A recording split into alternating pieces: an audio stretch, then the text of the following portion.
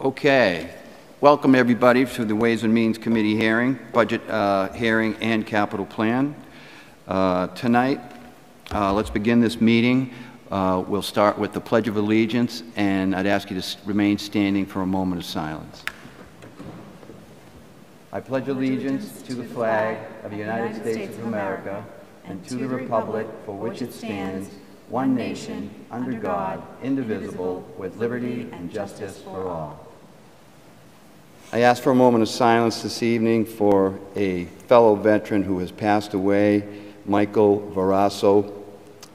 He is the son of Alfred and Carmela Varasso, a great American who succumbed to cancer, and I ask you to keep him in your thoughts and prayers as we also observe a moment of silence for those serving this country today, home and abroad.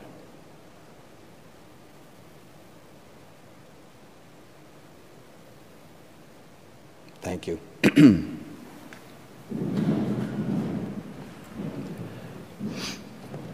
Okay. uh, Welcome, Chief of Staff Taub and the rest of the department heads and representatives who were here this evening. Uh, We do have a full agenda. Uh, First up, uh, we will take care of old business. Uh, We have remaining from a capital plan. Yes. Up, I stand, yes. Okay, Member Reynolds, Here. Member Flaherty, Here. and Member Maglio, Here. all present. Very good. We're eager to get going. Okay, first up is old business 22006, Mayor request to approve fiscal year 2022 capital plan or take up any action relative thereto.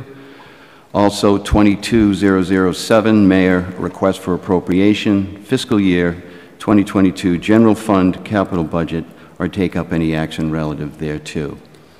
Motion, take off the table, order 2020, uh, sorry, order 22006 and order 22007. Second. All in favor? Aye. Aye. Okay, thank you. So first up, uh, Chief of Chief of Staff Taub, um, I know we have already covered a number of items, if not the majority of items, in 007, uh, General Fund Budget Capital Plan. We still have a few items left.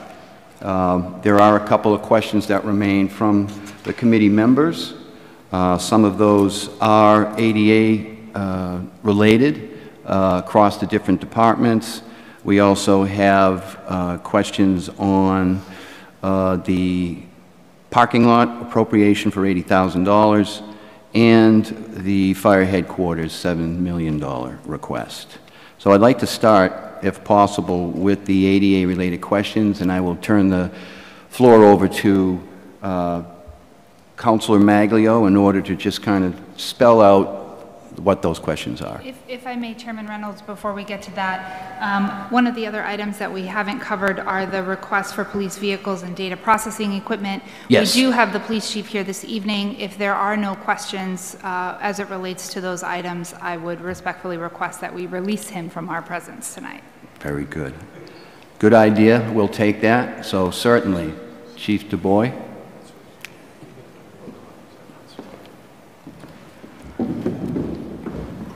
Good evening. Good evening, welcome. Thanks.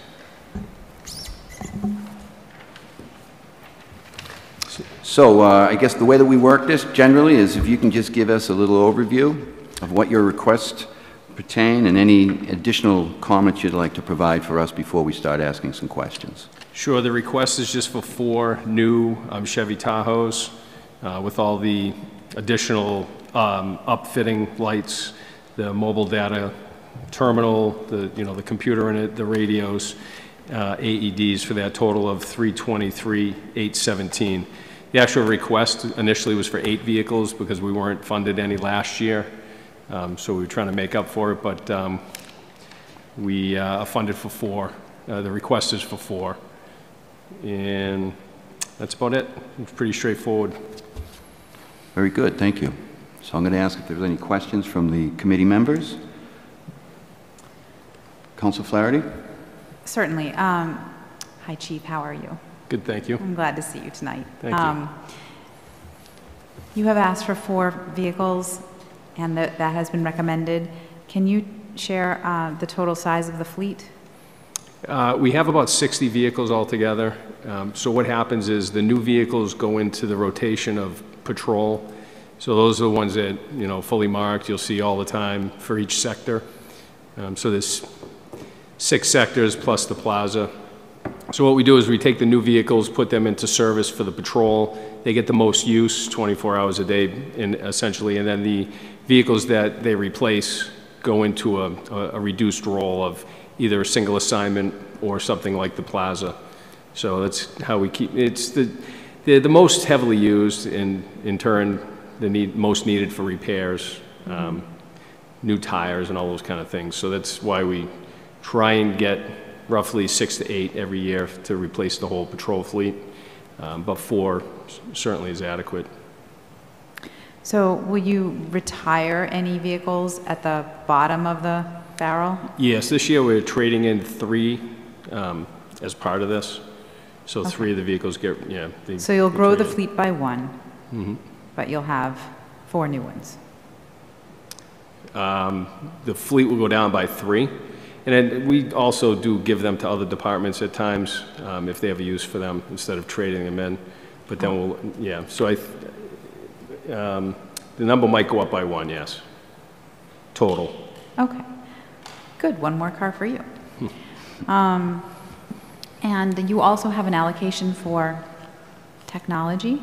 Yes, um, we just request uh, Beld to analyze and evaluate what we have for uh, all the computers in the station, and they made the recommendation. That was the minimum amount that they recommended for about $23,000. Yeah, f- so they just go and, you know, evaluate what we have and what needs to be updated and replaced. So that was from their recommendation. Okay, and will you retire certain computers as a result of these new Yeah, they just, purchases? ex- they- my understanding is they just exchanged them. They're, they're either at the end of life or they need to be updated. Um, So they're all the desktops for all the workstations. Okay, and you also have money that has been recommended for improvements to the police station. And I have visited the police station, and I believe both of the other counselors with us tonight also have. Yes, And um, I'd just like to get it on the public record, if you don't mind, sure. what those repairs are for and why they are needed. Um, I don't know, what what's the total amount? What Are you was the talking about the structural repairs to the garage that we discussed? Yeah. So the total amount uh, for those is I believe it's $100,000. a hundred thousand. Yeah, so I, I think Mike McGurty could give you this very specifics, but essentially the Sally Port where the prisoner wagon comes in and we um, bring prisoners into the, into the building. Um, The structure there is all cement and it's, it's defective and it, I don't think it's going to collapse, but it needs to be reinforced pretty significantly. So they had a structural engineer in, um, and it needs to, from my understanding, put a steel beam in and reinforce the flooring because that's basically the garage and the gym area that it's over. Um, So that's, that's what that problem is. And we can't park vehicles in there as a precaution now. And it also leaks, so over the winter time, like snow was on a vehicle, leaked, and all the water went down into the, into the basement area. So it is a problem, but Will the repair fix the leak as well as reinforcing the strength of the ceiling? I believe it will, yes. They'll they'll fix all the, there's big cracks in the floor itself. That's where the leak's coming from. Um, And how many steel beams will it take to resolve the issue? Did the structural Um, engineer recommend? I believe there's just one steel beam in there, but it's going to be supporting the, the, the sections of the, it's the floor. And the, the building is structured in a way, is, there's big cement, I, I don't know how you would describe it. That's fine. Maybe Mike can do a better job. Hi, uh, Hi. Michael McGurty, um, Facilities Director. Uh, The original plan calls for two uh, structural beams to be run underneath the deck. There is a deck mesh that has to be installed prior to that. The original plan calls for 16 columns, eight on each beam. We're getting a new set of plans that will decrease the amount of columns because it does affect the new gym that was just installed. So we're looking at three columns per beam. We'll split them in the middle. They'll be large beams. So that's what we're looking at. We're- We're hoping to do some of the work in-house that may lower the cost, but we won't know that until we get the new plan. So, So the cost is always an issue because we're dealing with taxpayer money, but the greater issue, in my opinion, is the extent to which it will work, one, and two, the extent to which the repair will compromise the space beneath it, which officers also use. yes, well, the plan will not. The one we're going to get modified and updated will, less columns, larger steel, roughly the same cost. Uh, So it will not affect the new gym that we put in. Or, or there'll be some minor modifications, but the gym's use will still be at 100% when we're through. Um, So, and the garage will be made safe. They'll once again be able to bring vehicles into it, and we will secure it, and we will uh, make sure it, it no longer leaks. We will epoxy it and uh, make it safe. Um, This is something that's gone over a long period of time. We didn't realize it until this winter when uh, we got the call there was water in the gym. So uh, once we reviewed it, we did come up with a plan, and that's what we put forth here, and those are the rough costs that we have. Okay, so just because I want to be clear on what you're going to do, Yes, it's not going to involve a, s- so it was explained to me that it was going to require a series of beams spanning the width of the, of the room. But it- Correct. now it seems like that's not necessary. No, no, th- they will still span. We will not have as many columns holding, we're going to go with a larger steel beam, mm-hmm. so we will not require as many columns, which will not affect the gymnasium that they have there now. The beam goes That is across the correct. The ceiling beam and the goes column across, the down. columns go Okay. up. We'll have three, one on each end, and there'll be one in the center. Now I understand. Okay, Thank you. You're welcome. You're welcome. That is all. All set, thank you. Council Maglio? Um, I just have a quick comment. I've been there as a guest um, a couple of times in the past uh, couple of months, and I'm happy to hear about that adjusted plan because I know how um, important the gym has been to building morale and, and teamwork and camaraderie amongst the crew, and that people were really utilizing that, and that would ex- that was going to be the thing that would have been lost with the earlier plan. So I'm happy to hear that there's an adjusted plan. Is there a sense of when this will happen? Yeah, funding, and I think he's waiting on that other plan. Certainly. Uh, Basically, we're waiting on the funding, and then we will uh, immediately put the plan into effect and uh, purchase the uh, steel that we need and uh, do the footings as needed and see how much work we can do in-house. Hopefully, uh, we can do more of it in-house than uh, we originally anticipated, but uh, as soon as we get the approval, we'll uh, get right on it. Priority one. Excellent. And is there a sense of um, how long a project like that would take? I would imagine from start to finish, if we can get all the materials on board, it'd be about a two-week process. Wow, that's fantastic. Okay, thank you. That's all I Thanks, have. Mike. Thank you very, thank you. Okay. So Chief, what's the typical life of a vehicle? Uh, we have some that are over 10 years old. It, it, it's really not the life, it's kind of the, the usefulness and mm-hmm. how frequent they get used. So the, like the patrol, a brand-new vehicle will go right into patrol, it'll be 24 hours a day for about two to three years. Okay. And then when we replace it, it goes into a, like a secondary role of either like the school resource officer who'd only, you know, that'd be the only person who would use that vehicle. So there's secondary roles that they, they kind of get filtered to. Okay. We try to keep them as long as we can, as long as they're not, you know, um, the maintenance costs don't get um, too much, we keep them for quite a long time. And the maintenance costs, they're done in-house? Or do you have a, uh, a part of your maintenance cost depending upon the level uh, of work needed that you have to send out? I, I would say some very minor stuff is done in-house, but it's mostly all done um, through local garage. Okay. All right, and that's just because the non-availability of the qualified uh, mechanics to work on the nature of the things that Correct. Okay, thank you. Uh, And I do see that um, you've got a pretty steady projection forecast out over, uh, through fiscal '26. So you've got a good program, it seems, in place as far as vehicle um, maintenance and, and replacement, so that program Yes. looks pretty solid. It is, thank you. Okay. Uh, And from the computer standpoint, I also see in looking at uh, your forecast out through '26, last year, I should say this year, uh, is 45, excuse me, what am I looking at? 22, 23, we got $21,000 data processing equipment, unless I'm on the out, uh, 23. The original request, I think, was for double. Yeah, it was um, 40. And so it, based on available funding, it- it's 23,000, which will fund 14 desktop and laptop Okay, replacements. great. Okay. And again, I just want to note, uh, you do have a forecasted out through '26 for a steady $21,000 per year.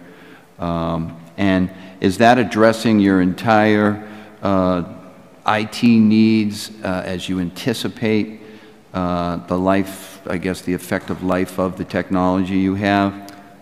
Yes, I mean, that- that's just a, a normal replacement process, so they just um, estimate how many laptops or desktops we're going to have to replace, and it's just an estimate for the projection, just kind of give us an idea. But we do routine, every year, we do replace, like this year, it'll be 15, 14 um, different. um, Okay, so that sounds like more your front-end user needs. How about your server needs, any, uh, anything like that? That's all done through Beld. So it's all through Beld, and that, again, I guess this might be for Chief of Staff Taub. Is that cost covered through uh, the service agreement between the town and Beld? That's correct. The town covers the IT needs townwide for everybody. Okay. For all the and- departments. Okay, so if there was to be any kind of a replacement or perhaps a migration to a virtual server, if that isn't already the case, that cost would be borne by Beld? Well, it would be likely borne by the town to Beld, and Beld would perform the services. Right. Beld has also provided, I think he's um, a technician that spends a good majority of his time at the police station to address their needs as they may come up day to day. Okay, great, thank you. I appreciate that. Uh, Generally, that's all the questions. Well, actually, one more question concerning the building. Uh, And so this, again, this may be more towards uh, Mr. McGurty uh, to answer the question. Um, Out of curiosity, I- obviously, I'm in support of the need uh, to uh, correct a problem, a serious problem with the functionality of that building and also personnel safety. What overall is your um, assessment at this point of the shape of that building um, as we look out over the next five years? Well, the building, obviously, it is undersized for the use and the size of the department that's in there. Uh, We've done a lot of modification work for them. It's difficult to work. Uh, A lot of the wall systems that are in there are antiquated. You cannot get parts for them. So we have to uh, mix and match and come up with our own designs every time there's a modification, and it's quite often. The structural issue that we have that we've talked about earlier was something that was unforeseen. It was a, uh, it was a, they call them planks, they're precast concrete slabs that were put in place. This just happened to be a defective one that over a period of time just finally gave way. So, in general, the building has a lot of uh, faults. The, the heating and cooling system is completely shot. It's running, but it's not properly installed. The, the building's been modified so many times that they've not correctly uh, put the proper ductwork in, sizing controls and so forth. The rooftop units need to be replaced. Um, The plumbing is uh, functionable, but uh, could use an upgrade. So in general, the building is in uh, more towards poor condition than, than uh, you could say uh, satisfactory. Are you familiar what year that was built? I'm I going to believe that say was the same year as the high school. 70, 72. Well, it was opened in 72. Correct. yeah. Right, okay, Yeah, okay. And we know that the police force was a smaller force at the time, they were. different set of uh, needs. Correct. Okay, and, and thank you, you've answered my question, it's just one more follow-up for the chief, if I Yes, sir. may. Thank you. Chief, uh, as Mr. McGurty touched on, you know, the needs uh, of space in that building. Um, Presently, you are challenged? Definitely. Or You're definitely challenged, okay. And you could see a need for a, for a, um, just say, a, a greater space a more efficient space for the department's needs going forward. Absolutely. Okay, it's just, uh, I'm just trying to get a sense, you know, we are, you know, we know the town has a lot of infrastructure challenges ahead of us. There's a lot of old buildings that need replacement, need upgrades. We'll be talking about one very significant one that we absolutely need to address with the fire department headquarters. Um, So, again, just to get a sense, this is the time to do it where we're looking at a capital plan out over a five-year period. It just gives us a little bit more information and perspective to go with. Thank you. Appreciate your answers. Thanks. Um, I don't have any further questions regarding the police uh, requ- uh, capital budget. I don't know if any of the uh, fellow committee members at this point? No. So I think we're all set. Great. Chief, thank you for your Thank- time. Thank you very much. Okay. Uh, I'll consult with Chief of Staff Taub. Would you like to proceed with the ADA-related questions? I will defer uh, to the committee's good. preference. It was only because we didn't have, I wasn't, I was unclear on the status of the police request, so I wanted to make sure we addressed that. Thank you. Okay, um, so I am going to turn the questioning over uh, at this point to Councilor Maglio. She seems to have some, some um, specific questions that she could start off. Sure, thank you. Um, So thank you for the response you sent to the questions um, from last week. Um, But I still am confused. What I, when I look at the capital um, budget here, I see 100,000 in municipal license and inspections for ADA accessibility townwide. I see 80,000 and the explanation for that was the parking, paving the parking lot, the town hall parking lot for 80,000 to improve ADA accessibility. 40,000 in the highway fund for ADA compliance issues, and then 50,000 in recreation for ADA compliance issues. And the more we do for ADA compliance, the better. As someone who sat at those meetings now for a couple of years, um, I know the needs are great in the town. What I would like to know is, are those just funds that people can pull from when there's a need? Um, Or are they to, because there's, there's a lot of, there's a lot of possibles as to what they could be spent on, but nothing definite. And I'd really like to know specifically what this $220,000 is going to do to improve accessibility here in Braintree. Certainly. So I will start by just speaking um, more generally, and then I will invite, uh, we have with us Mary Beth McGrath, Director of Municipal Licenses and Inspections, Jim Arsenault, Director of the DPW, Ben Hulk, Assistant Director, who also oversees Highway, John Thompson, Assistant Director, who oversees Engineering. Uh, We also have Mike McGurty from Facilities, Russ Forsberg, uh, the Building Inspector, and I, I think she's here just as an observer today, but I do want to recognize Christi- Christina Zanetti, the ADA Coordinator, who's also with us, and I think that's everybody. Um, so what we've what we've provided to date is um, the large-scale projects that we anticipate undertaking in the coming year.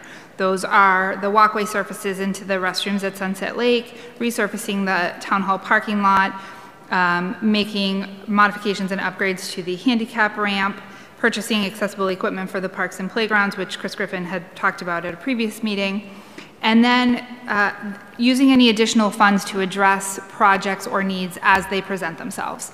And so the the needs can present themselves in a, in a wide array of fashions. They can come through the Commission on Disabilities, they can come through a, uh resident concern that's sent to the mayor's office or to one of the additional um, departments uh, that would be involved in something like this.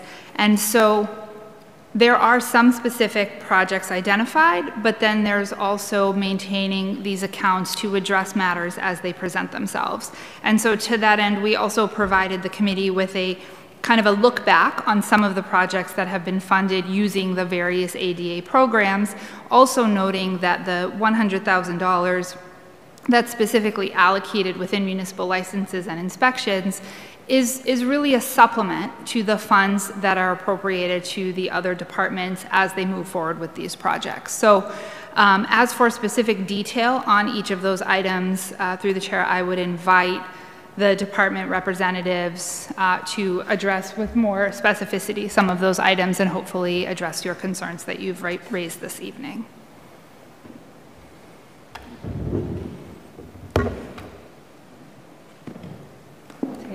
Director McGrath.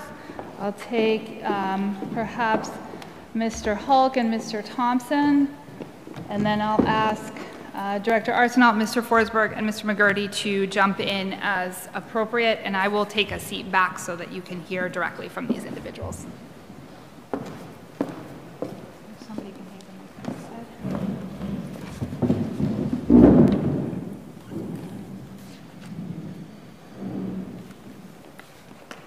Go ahead and Take it away. Okay. Thank you, thank you uh, for entertaining us this evening. I appreciate the opportunity and to be with my colleagues. Uh, As was mentioned at the meeting last week, there are four particular projects that my department is interested in working with the other departments on. Again, we, um, the program that we have through my department, ADA compliance, is to enhance projects that are currently going on through the DPW department. The four particular ones that we are working with the DPW department on are the uh, accessible pathways into the Sunset Lake bathhouse. I'm working with Mr. McGurty on that with facilities. That is going to cost approximately between 15 to 20,000. 15 to 20? Thousand, yes. The town hall parking lot resurfacing, which would, is being un- overta, under, overseen, excuse me, by the highway department and engineering division, will run, it's my understanding, at minimum about $110,000, if not more. Again, costs of materials are only increasing, so that is a factor in all of this.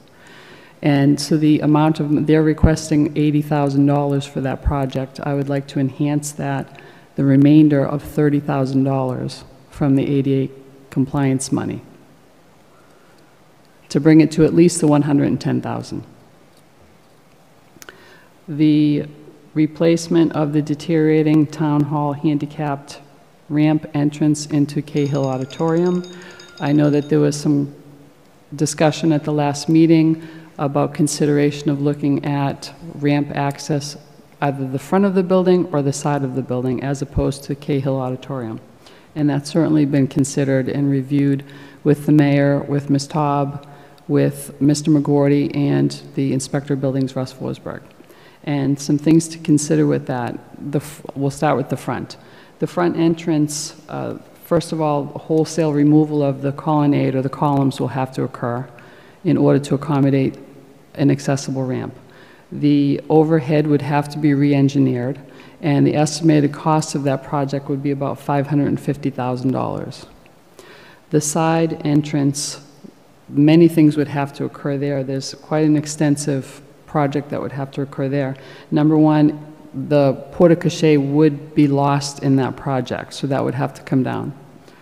The landing area where Mr. Casey has his office, the steps from that hallway, you go down two steps to a landing and then to the door. That would all have to be re-engineered because it would all have to be at the same level. With the engineering and implementation of that project, it would be in excess of $700,000.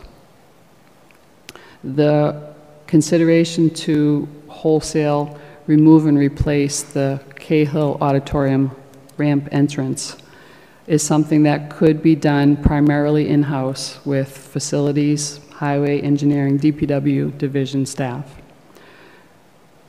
The cost would be approximately, or in the, the range of $200,000. And the individual department representatives can speak to that more clearly. The difference between the, one important distinction that needs to be made is that the Cahill entrance can be done with majority in-house staff and resources. The front entrance and the side entrance would have to be engineered and implemented through outside resources. And then the remaining thing, if, dependent upon what the amount is that is utilized for Sunset Lake, we would like the ability to be able to assist the Recreation Department with potentially purchasing accessible equipment, with the remaining, if the Sunset Lake project goes 15,000, then we would have 5,000 remaining, then we can assist the Rec Department with the purchase of accessible, or assist them with the purchase of accessible equipment.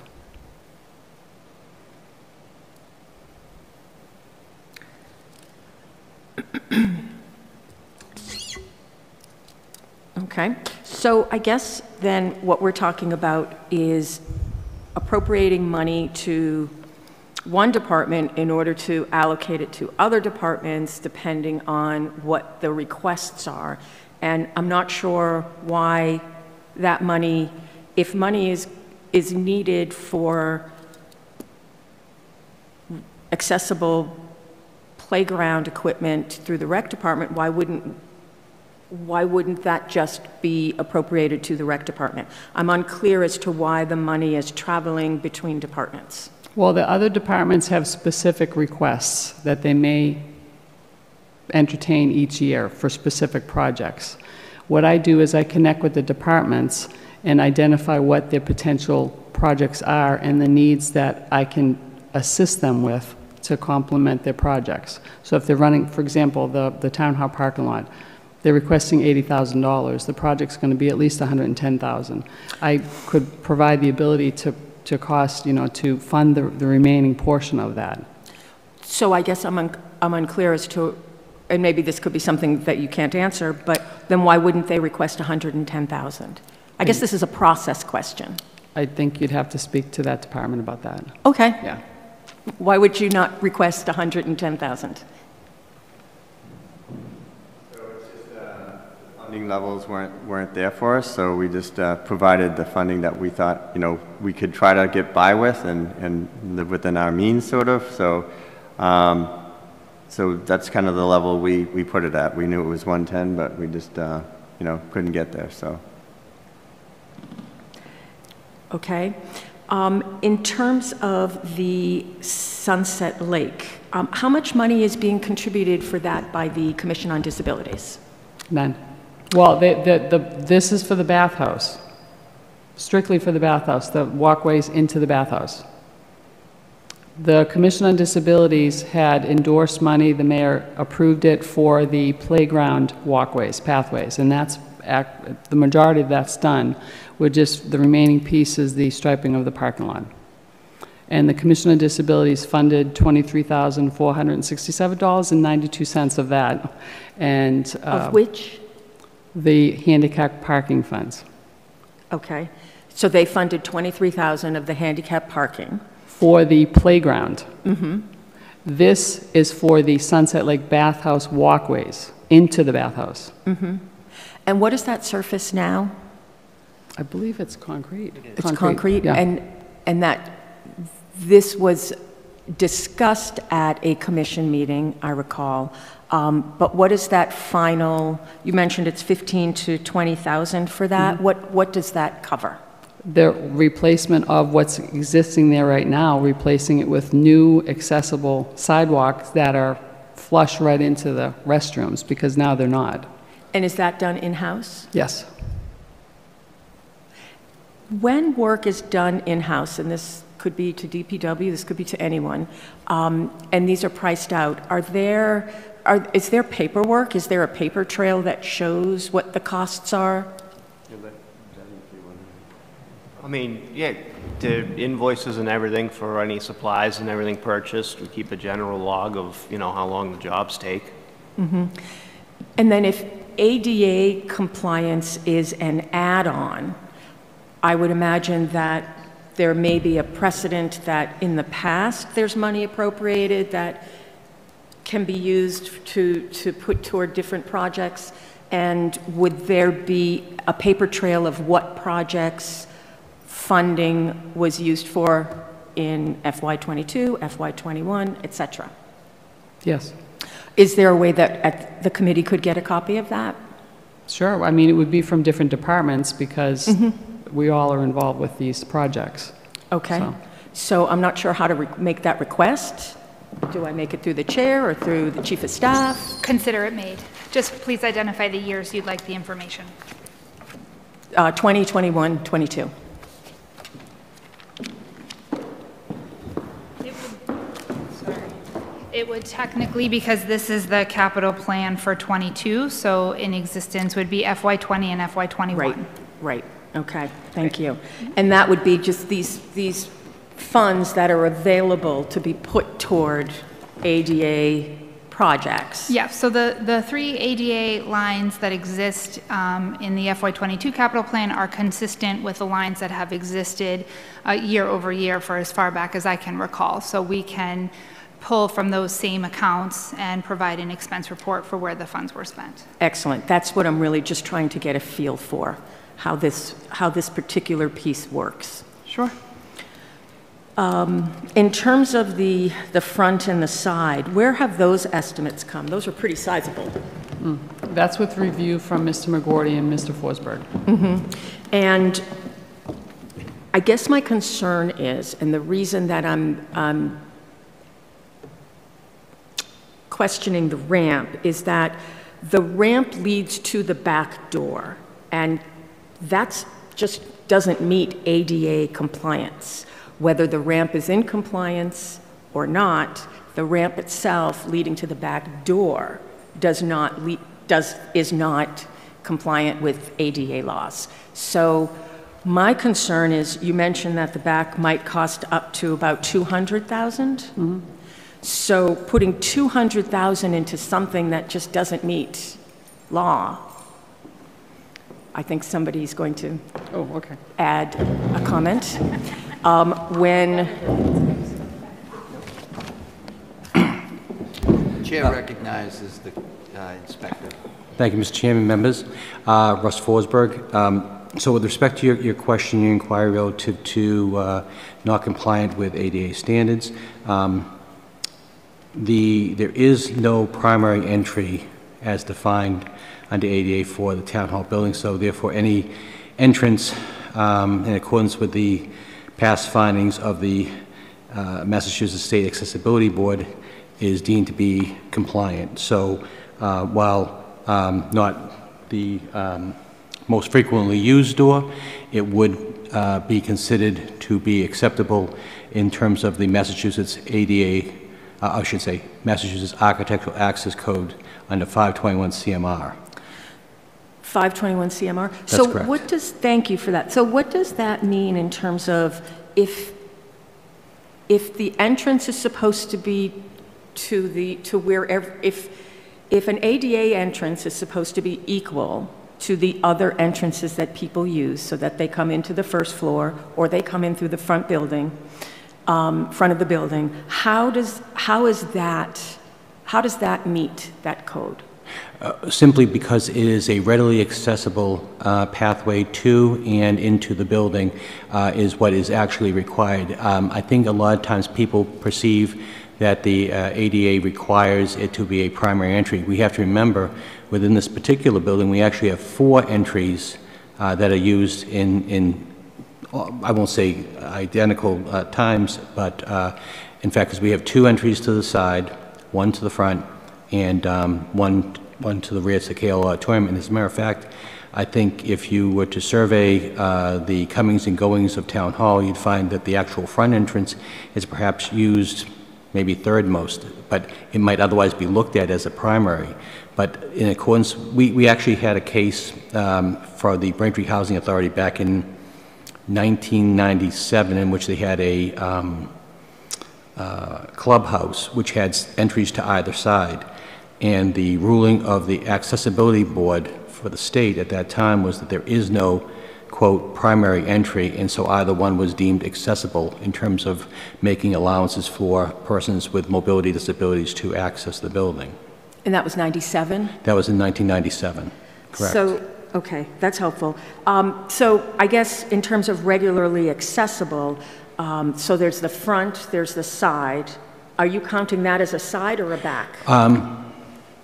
I suppose ultimately it's, it's in the back of the building. And that's the back? Correct. So those are the four entrances that you're Um, referring to? Actually, uh, there's a um, lower entry to the, in the side under the porte cochere, which public and, uh, and uh, uh, employees use, and that is ramped as well. So uh, there's effectively four primary entries to the building, front, the two side, and then what we'll term the rear entry into Cahill Auditorium.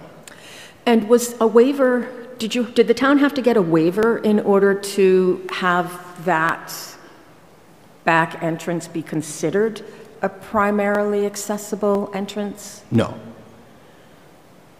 No. Okay. Right. Um, A- a- And um, uh, as as the committee might be aware of, we have commissioned a um, study on all town buildings uh, and to assist us with our transition plan. And um, I believe they have done a survey. I can um, inquire further with, they have? Okay. Yeah, they did do a survey, and so we are waiting that to come back, but um, preliminary findings don't, haven't determined that there is a deficiency relative to accessibility to the primary structure, so. This is the um, scan that was done five years ago? No, um, it's mo- most recently, um, we um, put out a bid and received a, uh, a uh, company to do an assessment in conjunction with the ongoing transition plan, uh, an assessment of all um, town buildings and, uh, and holdings, lands, parks, that sort of thing there. And I believe one has been, a survey has been completed for, actually, for Town Hall, and uh, at least preliminarily, I do not believe they have uh, uh, called into question the accessible entries uh, currently provided to Town Hall. Okay, that's, that's good to know. And wh- when will that information be made available? The hope is that they would finish their surveys by June 30th. Finish their surveys, meaning the surveys by consultants? June 30th of this, this coming year. And that that the consultants will finish the surveys? Yes, and then they would produce their report for us. Okay, so I get a little confused between the different surveys. So there's a consultant company that's looking at collecting data about ADA accessibility. Mm-hmm. Then there's a transition plan that was part of the sidewalk scan that the consultant is then going to use to add to this survey? This is the same consultant company. So they're doing surveys of the town hall buildings and holdings. The street scan is also part of that. They, so they have all of that information. They've received all of that information from the town. Okay, and the street scan is the one they just did? It was done probably three, three years ago. I'm sorry, it was done? I believe it was done about two years ago. To BCAM for switching mics. So we've talked a lot about the, um, the transition plan, which uh, exists in draft form and has for some time. Several years ago, the street scan project was completed, which um, was a review of all of the sidewalks around town as part of that transition plan. And that, I believe, was funded in part with ADA capital funds that we've been talking about this evening. In order to complete the transition plan, the town was awarded a grant in the amount of $50,000 from the State's Commission on Disabilities. Uh, That funding has been used to retain a consultant, the International Center for Human Design, uh, a- an organization that's main focus and priority is assisting communities with this type of work. What they have done as the consultants on the project is conducted a survey, not just of our buildings, but they have also met with all of the department heads and have sent out surveys to other individuals to gather information they've deemed necessary in order to complete the transition plan. So they will take all of the new data that they've gathered, plus the existing data that has been gathered over time, and use that to formulate a report that will then serve as the final Town of Braintree ADA transition plan, setting forth priorities for projects and necessary enhancements that they recommend be made, and the order within which those are addressed going into the future. got it. So preliminarily, we're learning that they're saying that accessibility to town buildings, this, in- this included, is not something that's been raised as a concern so far. Not at this time, but we, we're waiting their report once they finish the survey of the town buildings and holdings. Mm-hmm. Are they also surveying playgrounds and recreational areas and? Yes. So will these funds be, will, will they be used for their findings to, for plans to, to go about and execute some of the things that are in the plan? Or are they being, are, are, are the, the projects that were on this list not part of what they're working on? So certainly, if the, if the recommendations and the priorities identify a need that we have not identified, there is flexibility in the funding and the ability to pivot uh, and address those perhaps unanticipated and higher priority items. That's part of the reason why the funding is appropriated in a general category to allow for flexibility. If tomorrow somebody came forward and said, this building is absolutely not accessible, you have a problem, raises a red flag, and it needs to be fixed, the ADA capital funds, regardless, with the exception of recreation, because that's specific for playground, would be able to be utilized to address that priority at the time. So somebody who has an accessibility issue can come to town hall and say, hey, I have an accessibility issue, and those funds will solve their issue? So I'll give you an example, um, and then I'll ask, even though I took his seat, John Thompson, to help me out. Uh, recently, a vision impaired resident raised a concern about uh, uh, access to an intersection near their residence. That concern, in order to take action or implement the requested change, has to be reviewed at task in order to ensure that what they're requesting is appropriate given the size uh, of the intersection and the location for the uh, requested piece of equipment. If task determines that that is an appropriate adjustment or accommodation to make in that neighborhood, then funding to support that project would, could absolutely come out of any of the existing ADA capital line items that have already been approved. And what is that process? Once task makes that determination, what is the process for approving? So task would um, make a recommendation to the mayor that this, that the, this complaint or this issue was raised, and it is their recommendation that the fix be implemented, and then the mayor would authorize the department to move forward with the expenditure. Helpful, okay. And what if it's not something related to traffic? I suppose it would depend on what it is. Um, I would expect the majority of these types of items or concerns would funnel through the DPW, and so it would be reviewed by the department representatives that you have here this evening. They would make a recommendation to the mayor, um, or I think oftentimes will simply make the determination themselves based on their expertise that it's an appropriate use of the funding and a necessary uh, enhancement, and they would move forward with that work. Okay. Yes. Is there any, um, you know what, I, I'm going to hold off for now. Thank you. That was very helpful. Although you just came up to the table, if you'd like to weigh in on anything, Mr. Thompson? Uh, So um, I came up just to assist um, um, Solicitor Taub, if, if, uh, or Chief of Staff's Taub, I should say. Either uh, one. But, um, but no, she explained the, the the process very well, so I have nothing to add unless you have any additional questions. Thank you. Okay, I'm going to pause for right now and turn it back to my Thank you. colleagues. Councilor Flaherty, any questions? Thank you. I, I do have some questions. I have some specific questions and some broad questions.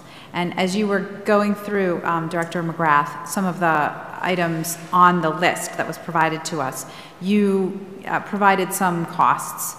And then, so I caught the cost for accessible walkway services surfaces into the public restrooms at Sunset Lake. And then I also caught the cost for the town hall parking lot.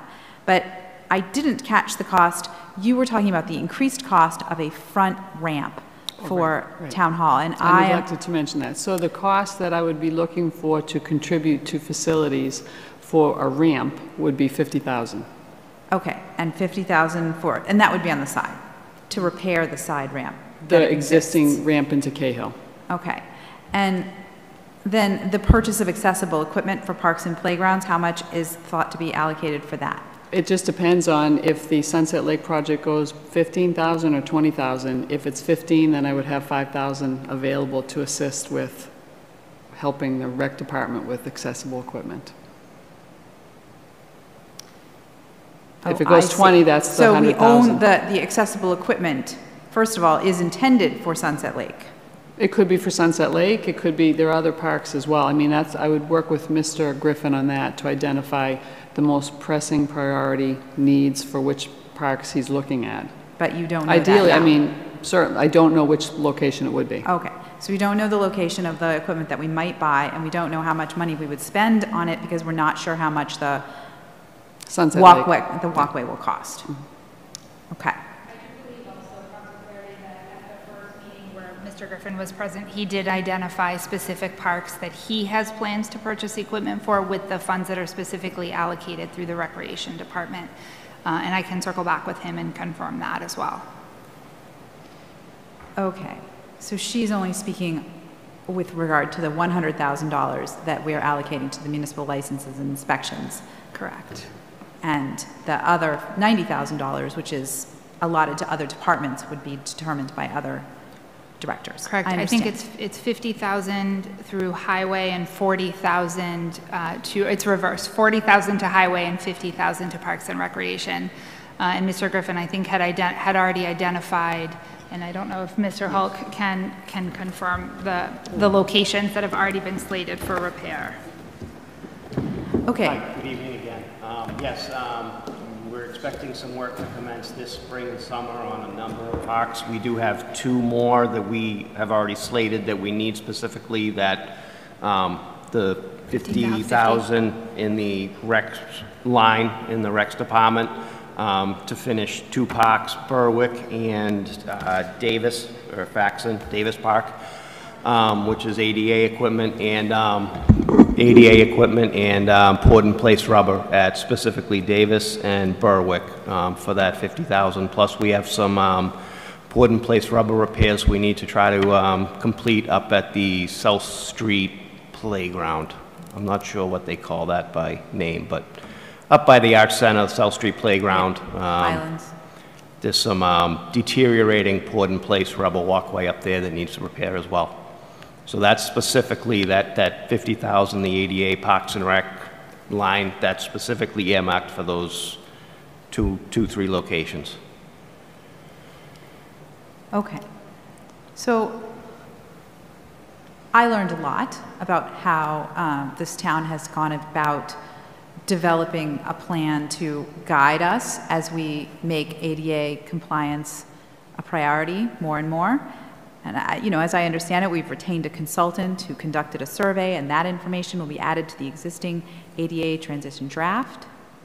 My question is, to what extent was the information that we have so far and, and documented so far, to what extent was that consulted to develop these priorities? I mean, specifically in the parks and playgrounds, they'd been identified that the- we had numerous, um, other than the most recently built playgrounds, there was very limited to no ADA-specific equipment in them. So we knew that was, you know, just a, a process we needed to complete. We knew we needed to get with the times, so to speak, upgrade the older, um, the older playgrounds and, and, and install the ADA um, accessible equipment. We just, So you didn't have to consult it because you knew there was nothing there? yeah, we, Okay. we knew there was a need, it, it had been identified, um, and we were trying to, trying to remedy it. Thank you. And with regard to the other expenditures that have been recommended, to what extent were, was that data consulted to arrive at those priorities? Because we are a town that has many, many ADA needs. How were these priorities arrived upon? Well, as you may know, that we did undertake a project at Sunset Lake for the playground walkways.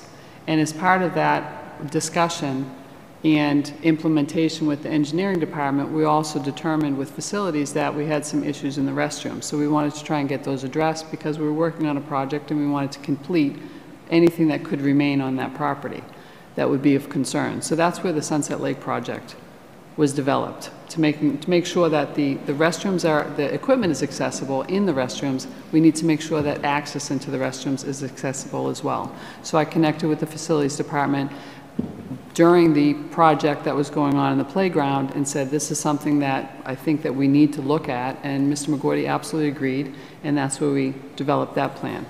The uh, Town Hall parking lot is something that I've been speaking with um, Ben about, and he indicated there was a definite, I think we all would agree there's a definite need for improvements to the Town Hall parking lot. And accessibility, wholesale accessibility is necessary, not only for persons with disabilities, but for everybody, because the the parking lot's in very, very poor condition. And so that certainly is something, when Ben mentioned it to me, I said, this is a worthy project for my, me to try and assist you with, clearly, because it, there, there are accessible needs in that parking lot. And I honestly, I don't want to see anyone get hurt. So we retained a consultant who conducted a survey, and we added that information to the existing ADA transition draft. But none of this work is rooted in the guidance provided by that document? Well, the transition plan is being created, and so Yes, it's it's still in... still in its- draft form. It's still in draft form, it's being created. But we also have to identify, not only thinking about the transition plan, but also current existing needs that are priorities too. And so all of these things are weighed equally. Okay, I think I have my answer on that. The last comment that I have on this is that if I want to know which streets are slated for repavement, I can go to the town website and identify which ones are going to be repaved, or at least planned to be repaved. And if I want to know which roads are going to be targeted for water work, um, to be dug up for water repairs, I can find that information out. And I have a lot of information, for example, on what the fire headquarters, how that money is going to be spent. The information that I have on this comes from answers that were supplied through email, which I suppose is part of public record, but it's not accessible to the public in general. And I know that having these large buckets of ADA um, funding allows for a, me- a measure of flexibility when some project is being worked on and there's an ADA component of that project. But it also reduces transparency for residents to know that we're relying on the guidance supplied by the people who have been hired to document what this town needs. And the danger that you run into with that has to do with permitting the town's priorities to guide how we use ADA funding rather than ADA needs guiding how we spend ADA funding. So this is a very small amount of money that we've actually spent a very long period of time talking about. It's uh, $190,000 total. And I don't think that it's enough. So I'm going to vote to support this. But it is my strong uh, conviction that this needs to be codified and made more transparent so that residents can know how uh, the ADA funding is being spent and also how the, those decisions, those priorities were arrived upon. That's all. Thank you, Fla- uh, Council Flaherty. And I know uh, you have another question, Council Maglio? I do. I have another question and, and comment. Um, Actually, I guess it's really just the transition plan. What are we transitioning from and to? Okay, so a community is required to provide a transition plan to identify and address um, areas of accessibility which are not compliant. Uh, The town has been endeavoring to do this for several years. We have, as has been stated, we have a draft transition plan. We are relying upon, we have been relying upon the services of uh, various consultants to uh, formulate plans of action and to identify those areas, such as the street scan project, which was done several years ago, which will be incorporated in uh, the ultimately the final draft of the transition plan. At present, we have another consultant going through doing uh, assessments of town holdings and buildings, which again, when that is complete, um, we will be sitting down with, with those folks to determine an order of priority and possible funding sources to make those improvements or corrections as necessary. Thank you. Um, And then just one comment. In terms of the town parking lot, and you mentioning not wanting anyone to get hurt, I I definitely um, concur with that. Um, But in terms of need, I look at, there are other places in town with um, far more dangerous pathways that are completely inaccessible to anyone. For example, Allen Street in District 3, which is unpassable. Um, So I don't know that I would agree that the town parking lot is the uh, main priority. Thank you. Thank you, Council Maglio. Uh, I do have a few questions on this topic before we move on. So, uh, thanks for the information and the update on the ADA transition plan. I know that is a central um, piece of getting to where we want to be as far as ADA goes. Uh, There has been a lot of work done on that, and um, I think we only have maybe two steps remaining. If if I'm not mistaken, somewhere roughly, there's I don't know, six or seven steps, I think, that are included uh, in that. So it sounds like progress has been made as far as uh, really getting across the line. We have some uh, very specific tasks that are ongoing, coming up from a consultant standpoint, data collection, which will put us in a much better position to start to make decisions and courses of action that will get us to that completion. So thank you for those updates. Um, as far as the, the question on, I, I didn't realize that the parking lot, uh, the $80,000 that was required, are requested from the parking lot was part of the ADA, uh, that you, uh, uh, excuse me, um, Director McGrath, that you would also be contributing an additional $30,000 to that project, and that the full cost of the project is actually $110,000? Okay. What I want to know is, um, the, the, last evening we heard, and we've heard this a couple of different times, that that building, the old Thayer Library, was going to be transitioned into a, a um, uh, regional dispatch center. And that part of that project, that there would be a bump out on the back of that building that would provide access from a handicap standpoint, an elevator, some handicap accessible bathrooms, which are great, uh, great use. Um, And what I'm not clear on is that the actual timeline of that project. So maybe Chief of Staff, you could give us, because that would lead me to my next question. Cer- Certainly. Um, So the town has applied through the State 911 program for funding to support a regional emergency communication center. And working with a consultant, have identified uh, the, the building at 2 JFK as the most appropriate location within the town to support that operation. The way that the grant funding works is it's, it's offered in phases. Phase one of the grant funding is to retain a project manager, an architect, and to complete the construction, all of which is fully funded through the grant, so there would be no expense incurred by the town. What that would do is it would convert that property uh, in order to, to properly house and meet the needs of that communication center. And so yes, that would include an elevator because there is not one currently in the building, ensuring that there is a handicapped accessible entrance to the building, uh, and potentially any, any work done in the immediate abutting area of the building. So where there is parking and part of the parking lot in that area, there is potential to utilize funding through the grant to mitigate the cost to do the entirety of the parking lot. And so that could certainly serve to reduce the $110,000 estimate, which is to redo the entire space. And so we expect to know hopefully later this month or in early June, whether or not we've been uh, awarded that phase of the grant. If we are, then that will reduce the town's response, the portion of the parking lot renovation that the town is responsible for, and would ultimately, as a result, reduce the need to utilize capital funds for that, which would free up funding in either of the two lines that have been uh, appropriated to support that project. Presumably, it would free up the ADA funding. Okay, okay, thank you, that's helpful. Um, So,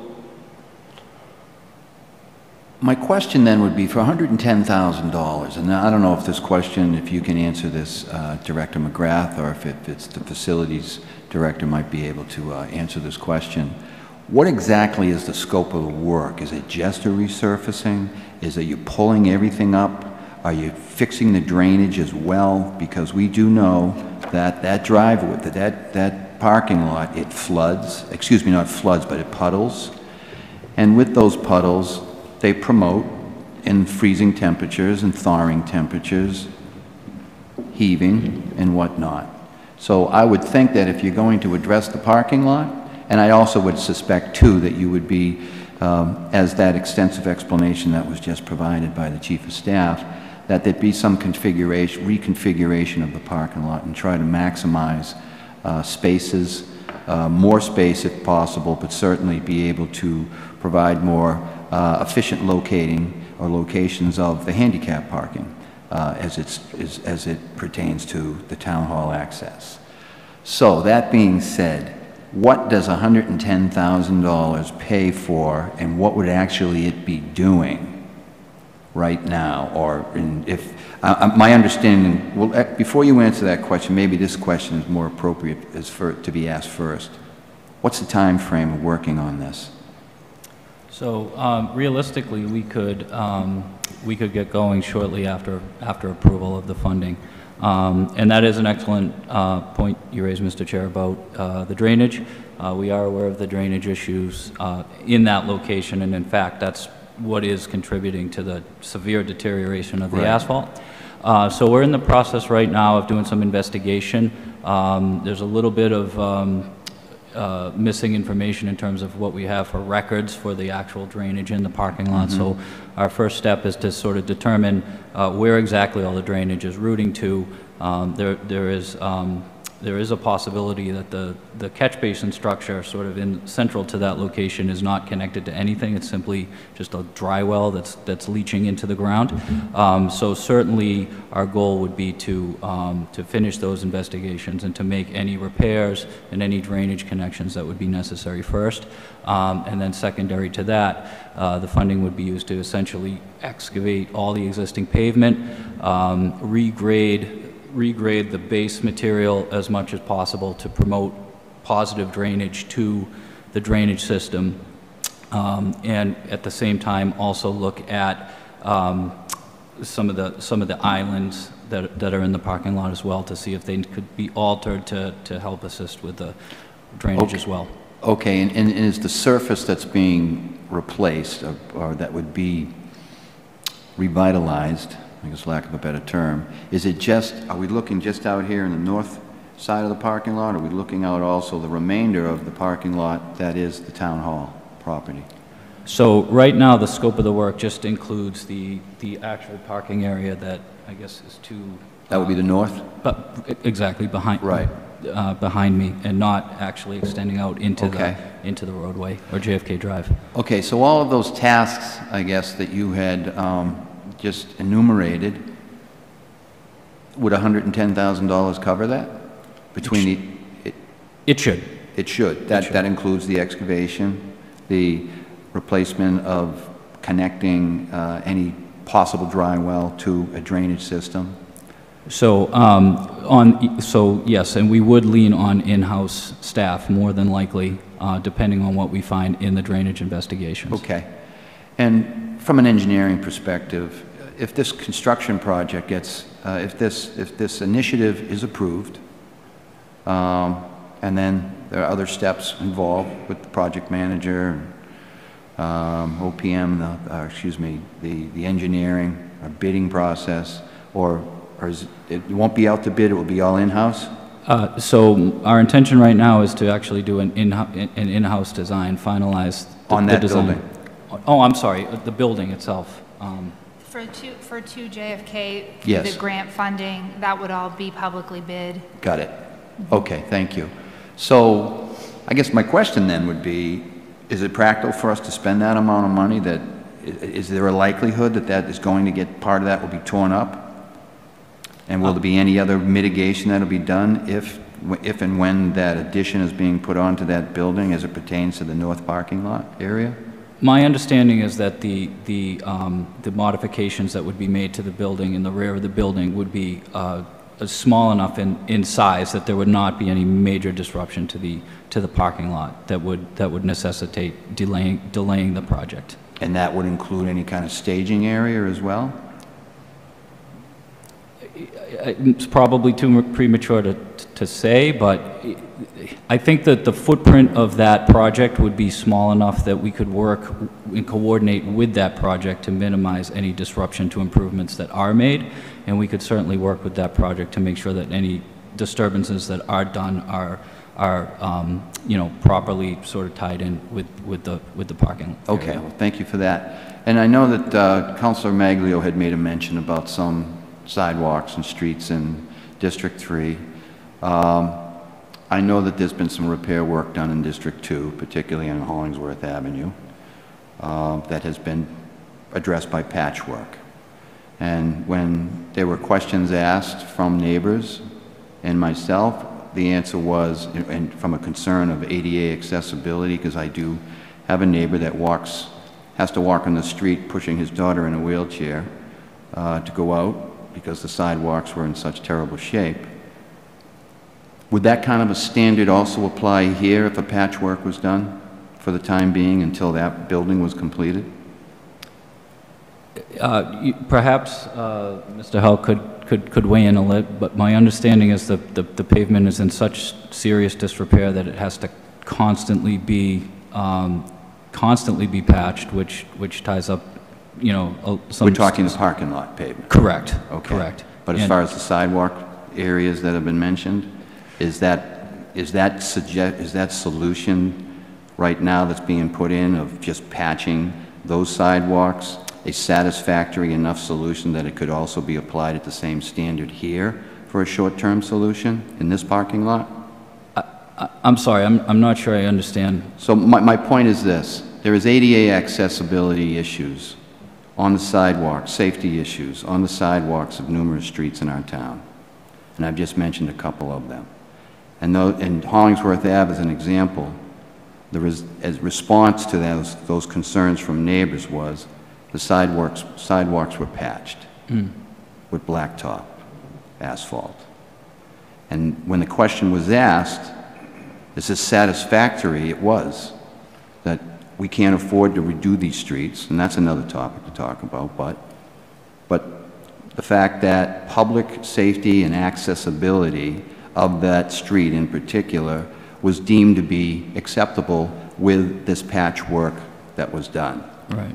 Okay, so my question is, citing that standard as an answer to the neighbors' questions, could you apply that same standard to this parking lot area for the short term? That is, patch it in the same manner you did with the sidewalks on various streets until that project at 2 JFK was completed? Yeah, you, you could patch it. Um, Okay. it- There, there is a, the, the, the- it's sort of apples and oranges, though, just in terms of, in terms of cost. And, you know, there, some of the sidewalk issues that you And I, mentioned. and I accept that, but it's, it's just the actual standard I'm curious about. Sure. Respectfully, Mr. Chairman, if Mr. Thompson has additional information relative to the- question, I would ask that he just be allowed to provide it in Sure. response. Absolutely. So, um, I think Allen Street and, and Hollingsworth Ave were the, were the two, um, areas of, of, of concern that were mentioned. And, and unfortunately, um, there's just, we, we, we don't have funding to, to undertake the large-scale, scale recon, reconstruction of those areas right now. Um, on, on Allen Street, there's a major infrastructure, um, issue that we're trying to address in terms of a retaining wall, uh, that's retaining, essentially retaining the right-of-way, um, that, you know, right now, our initial estimates are, are looking at somewhere on the order of two, $2 million to repair. Um, so the question becomes, does it make sense to make a temporary repair to the sidewalk that would ultimately have to be re-excavated, uh, to repair the, the, the retaining wall?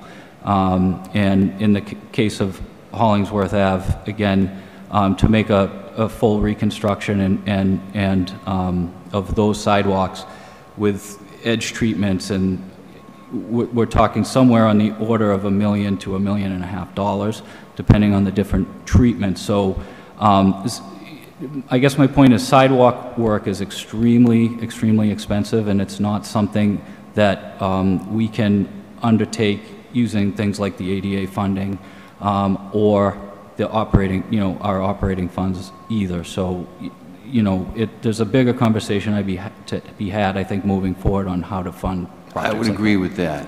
I mean, we do, I mean, the simple nature of the capital plan is, you know, through the years is always, and in particular, these most recent years, um, I- not most recent, I'm going to say going back 10 years, that we have had a serious infrastructure issue with this community, and the bill is coming due. And you're absolutely correct as far as the cost, the outlay for us to address everything. But, you know, in the absence of having all of that, it's just a fair and equitable question that I think is worthwhile a conversation. And I do appreciate your answers, and I understand, um, you know, uh, to the point as far as apples and orange reference goes. Um, but still, they're both, what's, what is the common link is a public safety a- accessibility issue. Sure. So we do have to be mindful of that as we're moving forward and how we're prioritizing things. So, but thank you, Mr. Thompson. I appreciate you taking that time to answer that question. Uh, You've given me some more insight into all this and more to chew on, absolutely, and that I appreciate, as well as the rest of the team here. So, uh, sounds like we have one more question. Council Maglio. Um, Just a comment. I, when I mentioned Allen Street, um, I do want to say that I appreciated the meeting that we had last week where we talked a little bit about Allen Street and the plans for it. Um, I also appreciated the opportunity to write a support letter for the grant, and I know it's millions. And I definitely was not suggesting that um, the, you know, 30 or 40,000 left over from one project could solve the problems there. I was simply responding to the statement I think that uh, Director McGrath made that everyone would agree that the, something to the effect of everyone would agree that the biggest need is the parking lot. And I just wanted to say that actually there are many different perspectives as to what the biggest needs are, one of them being Allen Street. So um, I just wanted to, to say that. Thank you. Okay, thank you very much. Uh, Yes, another? Uh, uh, Excuse me, Councilor Flaherty, another comment? Thank you. Um, I, I looked, today was a really good day to look at the parking lot and determine its need, because it rained and you can see the puddling and you can see places where it is crumbled. But as an order of magnitude, it pales compared to the condition of the high school parking lot. So my question regarding this item is how is this parking lot prioritized over the high school parking lot? So it's, thinking about the high school parking lot, there is a large portion of that parking lot that received a temporary remediation measure uh, to carry us through uh, until we resume construction on the Peterson Pool Rink, which we anticipate is forthcoming in the very near future. So that entire section of the parking lot, if you're looking at the field to the left that directly abuts Carson Field, there, the drainage plans call for drainage in that area. So it doesn't, it doesn't make, it's not good spending to, to expend funds to repave and redo that piece of the parking lot, knowing that it's going to get torn up for installation of the drainage and then going to have to undergo repaving again.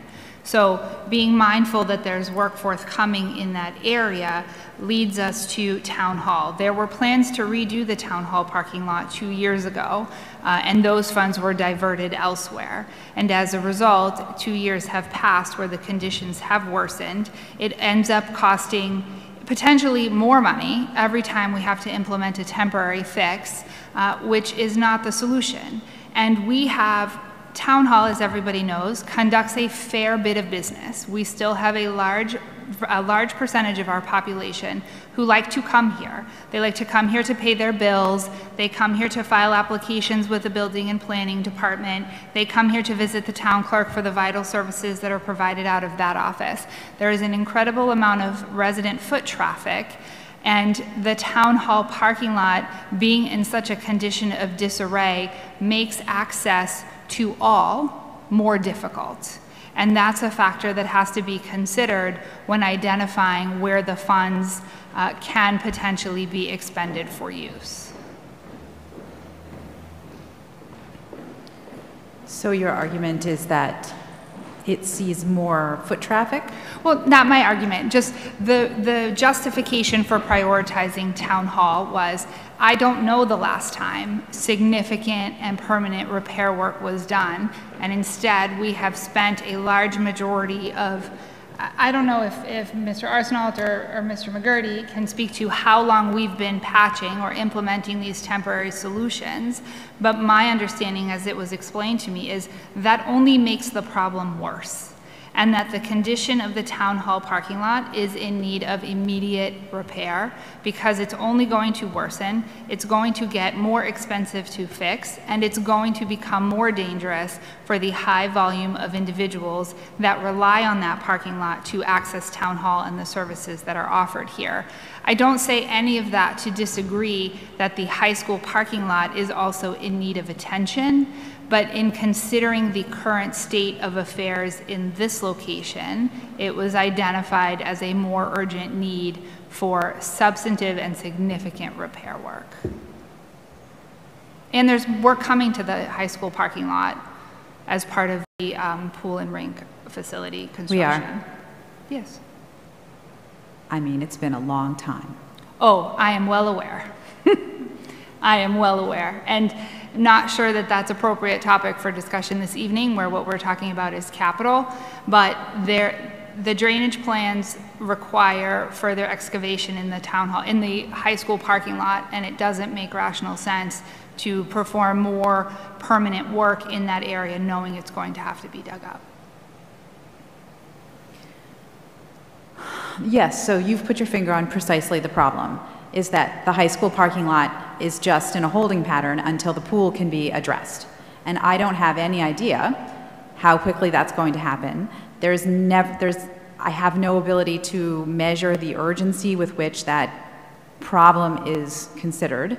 And to me, every single day, every single kid who comes to the parking lot and parks in this basically gravel area, that's their that's what that's what we've provided for them for their school. And at first, it was like, well, obviously, this is just part of some construction plan, and it will not be forever. But now it feels like it's forever, and we're prioritizing town hall parking lot over it, and we only allocated, let's bring it back to the capital plan, $800,000, $850,000 for all 10 schools. So we've allocated basically one-tenth of that amount of money, just more than one-tenth, because it's really $110,000 to do the town hall parking lot. One, more than one-tenth of that sum is being allocated to this parking lot. So it is a question of priorities. And I, I know that the pool makes it harder to pin down when is the right time to do this, to do the high school parking lot. But I have to say that the decision to repave this parking lot is a priority that I, I'm not sure I can justify. That is all I have to say on that. Thank you, Council Flaherty. Okay, I think we're done with this topic of discussion. Thank you. Um, Let's move on. I know we have a a few more items, just to give a heads up to the folks from Blue Hills uh, Regional High School. Thank you for attending. Uh, We just have another matter to attend before we get to you. Just one more question, or one more topic in our capital plan, and then we'll be getting right to you. So, uh, I'd like to talk about this time, Chief of Staff, the Fire Department Headquarters project.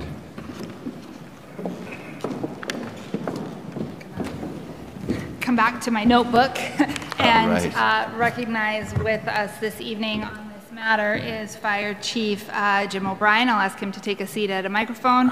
Uh, Russ Forsberg, Building Inspector again, and Mike McGurty, Facilities Director.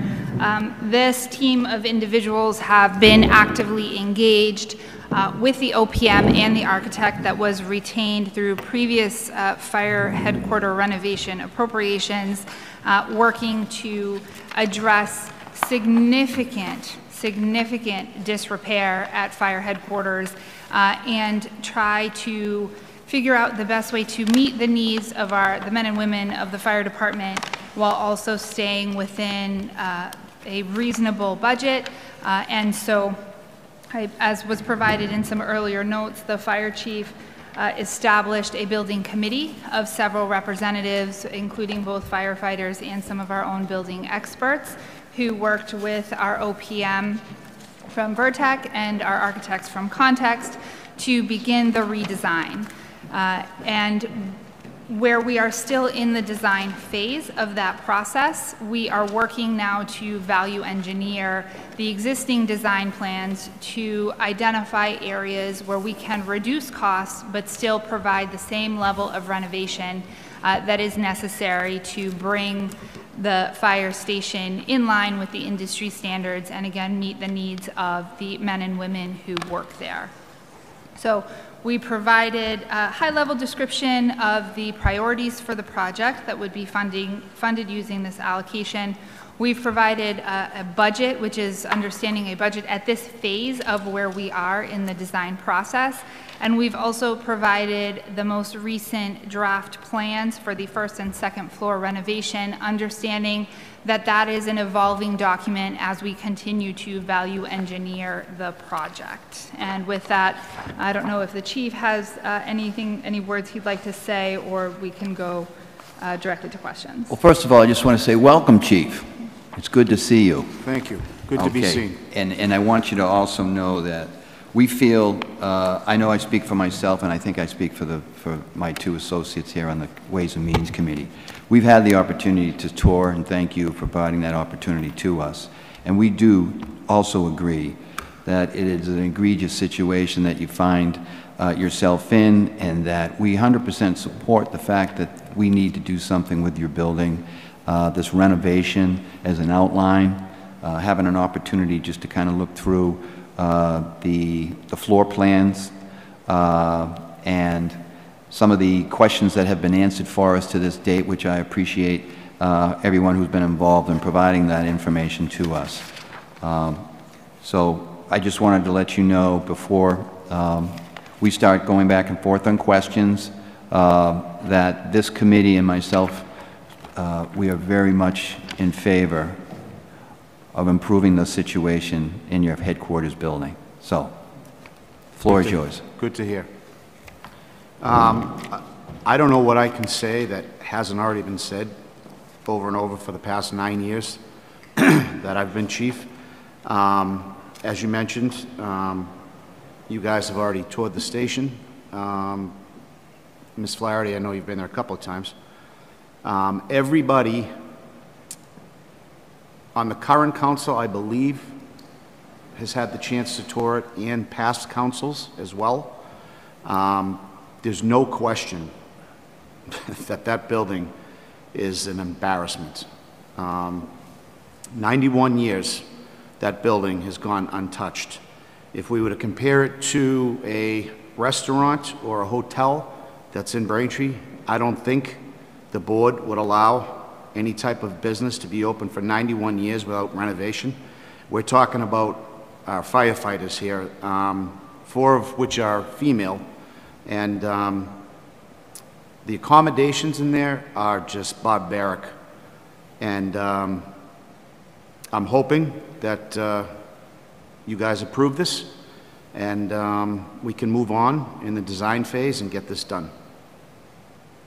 And Very I'm good, very Available to answer any questions you might have. Great. So the basis of my questions are going to be, and I think it was a good term that was already used, was description of where we are with the project right now and the value, the importance of the value engineering in order to, to um, deliver on the value, to deliver on the upgrades that are necessary, absolutely necessary, to do your job and to safely uh, accommodate uh, your firefighters on their shifts. Uh, And with the backdrop, we find ourselves in a very, very difficult financial situation as far as our capital needs go and our overall infrastructure needs go. And I think there's a priority is your building. How we get that done and how those numbers are applied, I think is really where the questions are that remain right now. So um, I believe that we'll probably make some significant progress this evening with the question and answering.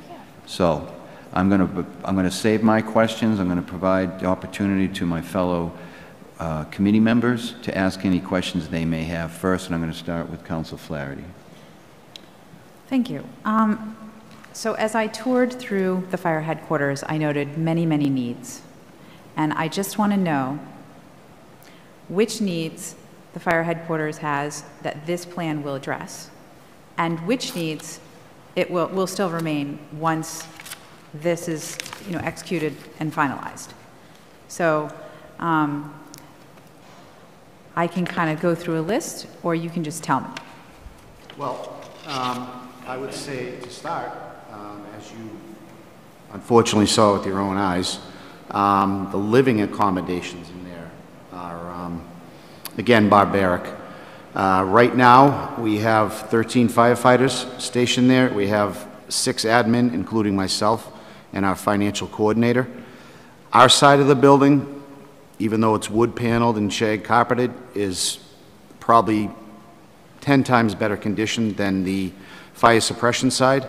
And to me, that's the important side that uh, we need to focus on. Uh, Our men and women who protect our town are there 24 hours a day, seven days a week, and those doors have never closed since 1931. I don't know of any other building in this town that's like it, um, that has lacked the attention over the past I've been there 34 years, and that building has just continually gotten worse, uh, as you saw. So again, the, the living accommodations is a priority. What we will gain in addition to that, uh, if I could describe the living accommodations, just so we're all on, on board here. Um, There are 13 firefighters. There are eight bedrooms, uh, the majority of which are uh, six by eight or six by seven in size. Um, For years, most of those accommodated two firefighters. If you can imagine two six-foot-plus, 200-pound men at the time um, in the middle of the night trying to, you know, get their gear on and get down to a truck uh, was a little uh, comical, to say the least. We have one bedroom that's called a dormitory that houses four firefighters, which also houses um, up to 20 lockers in there as well, personal lockers.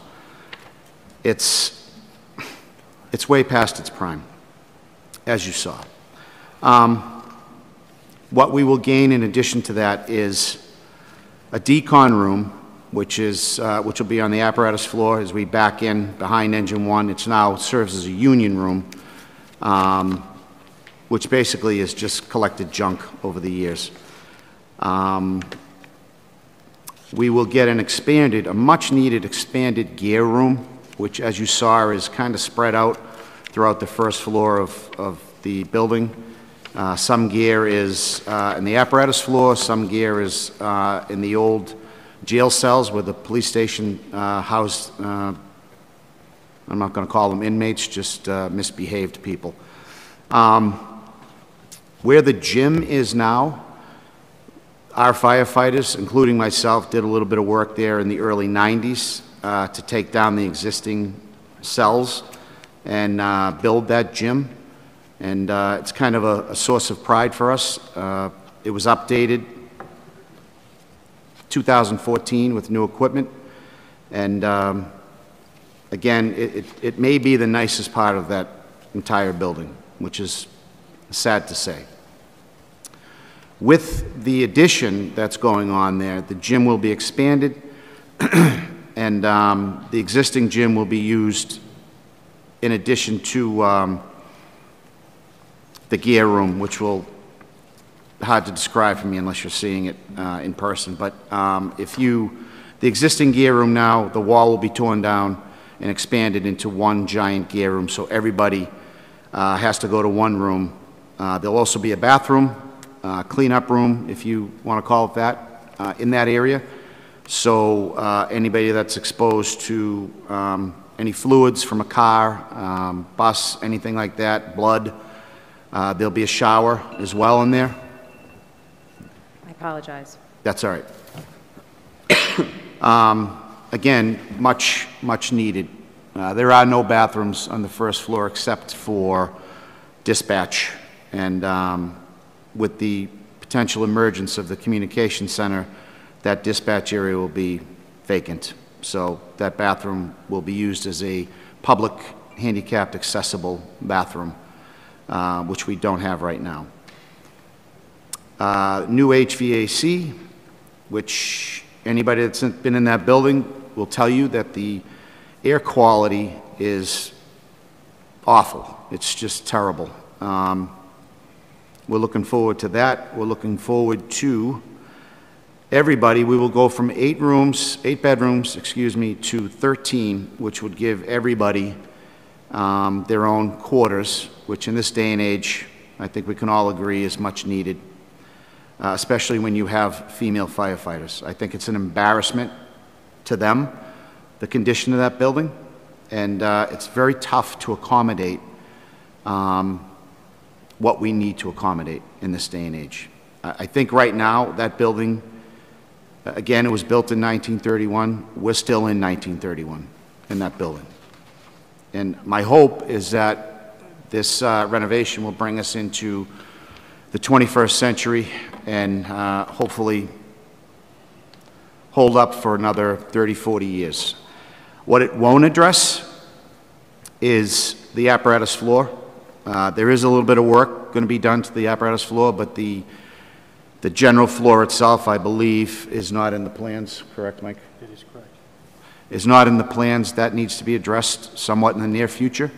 Um, The facade of the building, front, rear, sides, um, I don't believe is included in that. And facilities, uh, I must say, before I go on, has done unbelievable work so far in getting us ready to transfer from headquarters to the uh, Galvin House, um, over and above the work they've done there and um, what they're going to do in the future. It's very much appreciated.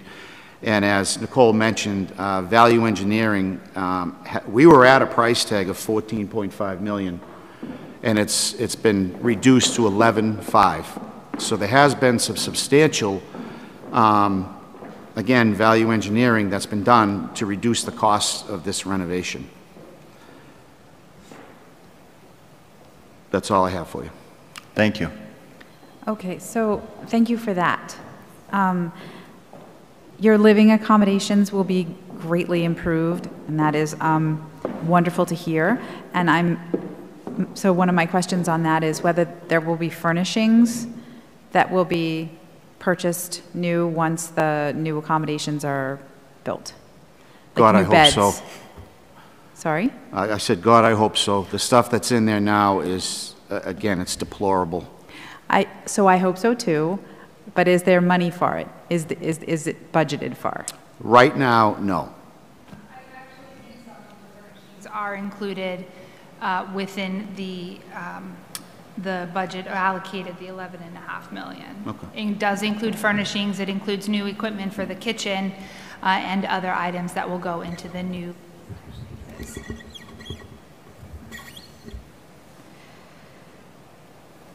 Okay, um, so there, that was one of my questions, new equipment for the kitchen will be included. Um, And there's going to be a- an expanded gym, will there be a- additional gym equipment now that you have more space? That's the goal. Uh, Again, we'd have to see what we have at the end. The equipment we have right now, again, is eight years old at, at best. It's still in pretty good shape. Uh, We want to uh, continue to use that, but also add to it. Okay, and so the uh, heating and ventilation will be solved, Correct. okay? And you're going to have a new roof? Correct. So that will be solved. And then um, the plumbing, will that be solved? Yes. The plumbing will be solved? Yes. Good. Yes. Um, And how about electrical? Everything, soup to nuts, whole new Electrical will system. be totally new? Great.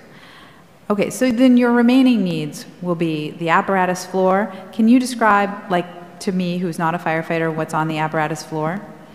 So the apparatus floor houses, there's four overhead doors.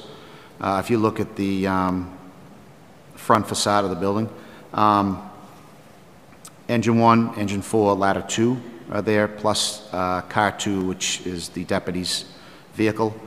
Um, As you saw in the back of those engines, you saw a a pile of junk. You see old hose, you see a couple of boats that we can't even use uh, in fresh water.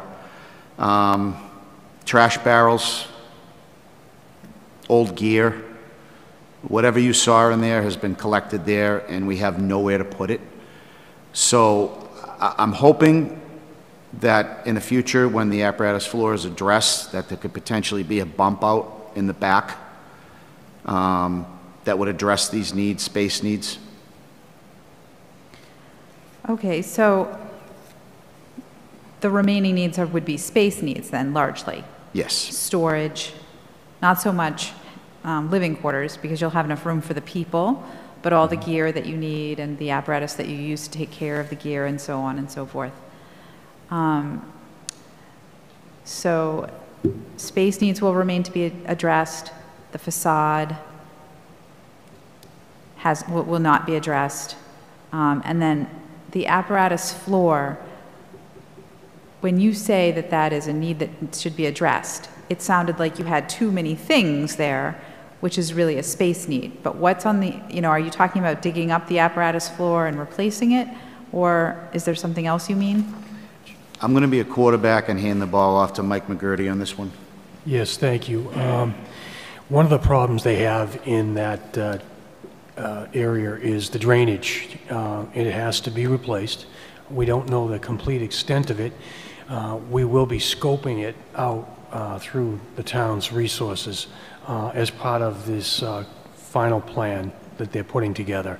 Um, But the drainage that's existing there right now is inadequate, and some of the drains, we're really not sure where they're hooked up to. Uh, They're embedded in concrete, so we won't know that till we get, uh, get them scoped, which we're hoping to get done uh, possibly next week, have it scheduled. So you have to get an estimate, or to get the drainage scoped, and then you can know whether that, that can be included in this project? That is correct. We're hoping that that will be part of it. Uh, Mr. Forsberg and I have been over there. He uh, may be able to speak on that as well. Okay, and so when you look at the, is there, are there needs that you, Mr. McGurty, would, do- would like to add it to the conversation, the needs that will remain once this project is completed? Sure, there's, there's, you know, exhaust equipment that could be upgraded within the uh, vehicle storage area. Uh, What they have there now works, but to bring it up to speed, to state-of-the-art, that would all have to be upgraded. So there's a, an extensive amount of cost, additional cost to upgrade that portion of the building. It's operable now, but uh, maybe um, within a year or two, uh, at some point, they could address those needs as well. I- If I could add to that, it's, it's a Plymovent system, which is, I think I showed you guys, it's attached to the exhaust. Uh, When the truck's back in, the back stepper will get off and attach the Plymovent to the exhaust. That prevents the fumes from going upstairs, uh, for the most part. There's still some fumes that get up there. When the trucks are called out and they're pulled away, the Plymovent goes all the way to the front of the uh, bay door and disconnects from the exhaust. Right now, those Plymovents are held together by towels, duct tape, and uh, bungee cords. So that is an absolute necessity that those are replaced. Okay. Um, On the list, the total project budget update from April 26th. There's a soft cost contingency that's identified as $50,000 at the very bottom. And I'm wondering what you anticipate as soft costs that might be covered by that. Um, I would say, you know, hazmat remediation um, would probably be, maybe take up the bulk of that, if it does. But there's a lot of unknowns in that building. Um, There was a shooting range in there, and, you know, in 19, I believe it was 1975, I know 1972 was mentioned earlier, but our records have 1975. I I was not there at that time, by the way. Um, in that shooting range, um, talking to the, the guys that are now retired that were there that did the work, they basically slapped paneling over what was existing. So there's definitely casings in the wall, and as you know, that contains lead. So that would need remediation for sure. Um, The windows, uh, most of the windows are encased in lead. Uh, There's asbestos um, underlayment under the carpets. There's asbestos, uh, horsehair plaster contains asbestos. There's mold in the attic that needs remediation. So there's, I'm assuming that would take up pretty much all of that 50,000, if not more. Um, If you handled the drainage on the apparatus floor and had to dig up the floor, would there be uh, remediation needed there as well because of the engines having been parked there for so long? I I would say yes. Uh, There's plenty of, uh, the oil-water separators that are in there would need to be replaced. The plan does include a new uh, oil-gas separator that will be installed out back in the building, that we checked into that. It's the drainage piping that exists now that is suspect. Um, it- Once we get into it, we'll know better. Um, There there may be enough money in the costs to do some repair work to it, um, but we'll get a better idea of what the extent of the work needed will be after we scope the pipes. Okay. Um, I notice on the list that there's no expense for the planning board peer review. Is that because it's going to be conducted by the town and so we won't charge ourselves? Or is that because there will not be a planning board peer review? So I, I think that that's, it's project-specific, and so um, it hasn't been determined whether or not there's going to be a peer review, but presumably where it's a town project, we wouldn't, we wouldn't pay ourselves from one pocket to the other, so there wouldn't be a cost associated. Okay. Um, That's a lot for me to chew on. I'm going to, um, what do we say? Yield the floor? Thank you, Thank you, Counselor. Uh, Counselor Maglio, questions? Yes, thank you. Um, So I visited the headquarters. We've talked a lot about the great need. I have to just say on the record, I was shocked and appalled at the condition of it. And the question I have that I don't think can be answered easily or tonight, or maybe even by anyone here, is how, you mentioned the doors have been open since 1931. It's almost 100 years. In nine years, it'll be 100 years. And I don't understand how it takes that long to get significant upgrades um, and to launch a capital plan uh, to, to raise funds to rebuild a fire station. I'm just um, stymied by that. So I just wanted to put that out there. Question, I have just a, one general question. Um, you mentioned that at one point it was about 14 million and then there was some value added and some costs were taken out. But then there is a, a pretty significant list of the kinds of things that are not included. I have no idea of the scope of costs of those things, but was that part of the value added? Were any of these things that you mentioned, the apparatus for the facade, the space needs, the bump out, those kinds of things, were any of those in the plan, but they were taken out? Yes. Um, One of them, probably the major one, was the um, rear addition in the back of the building, um, which would have uh, given us some pretty significant storage space, as uh, we addressed earlier. Um, Also would have provided uh, three vehicle spots? Yes. I believe. Um, Understanding we're tight with money, I totally understand that. Um, This was part of the value engineering. We're still getting the addition bumped out onto Tenny Road, um, which will provide, expand the fire suppression side. It- They'll basically have 75% of the second floor, and the admin will have the other 25, 30%. I don't know the actual percentage, but I believe it's about that. Thank you. Um, I guess my, my comment in response to that is, if it's something that we know we need now, and it's something that we know we're going to, we have to invest in, I am confused and concerned that it was actually removed. I understand there was a need to bring the price tag down, um, but this is a project that we're, that we already know it's not enough.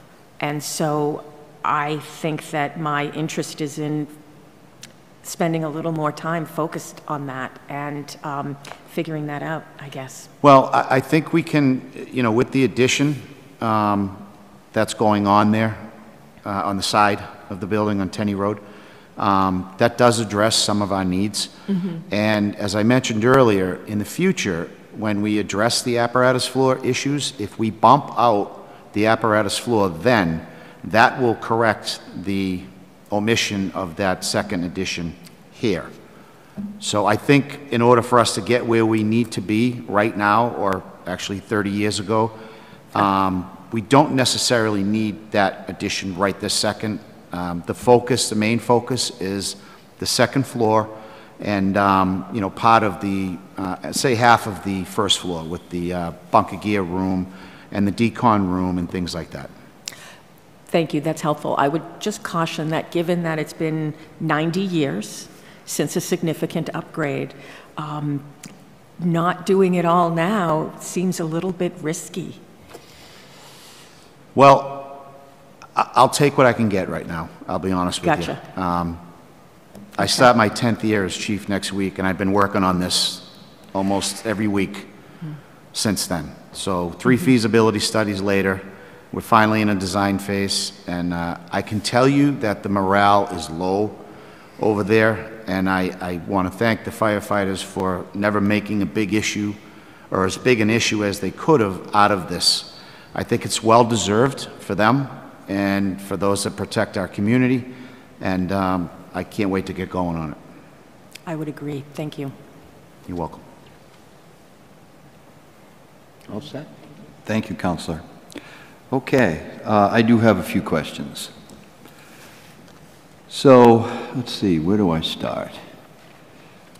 All right, we'll look at, uh, first thing I'm looking at here is the total project budget, the draft dated 4/26/22. It's giving us a total appropriation request of $11.5 million. Um, We have a, uh, a breakout of some various informations, uh, information, excuse me. Uh, The construction base bid of 9.9 million is, um, my understanding is, is going to be, is going to be associated to the actual construction work itself. Is that correct? Do you have, yes? Yes, it is. Okay, terrific, thank you. And the remaining, the difference between uh, the 11.5 and the almost 10 million then would be for outfitting? That would be correct. Okay, thank you. Okay.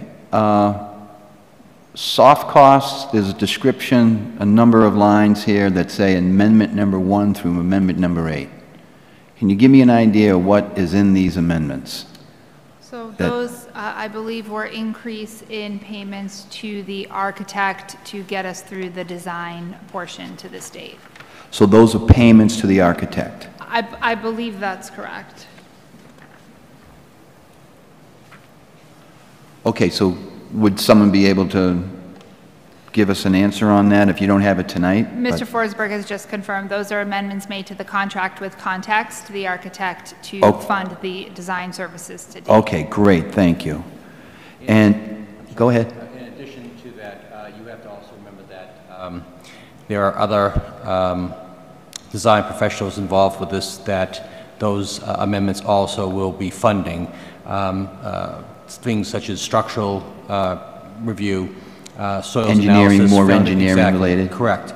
And on average, you know, you have to build in a base uh, percentage of some 10% of your project budget to, um, to address the issue of uh, professional design services, not only in the production of drawings, but in the administration of the plans uh, during construction.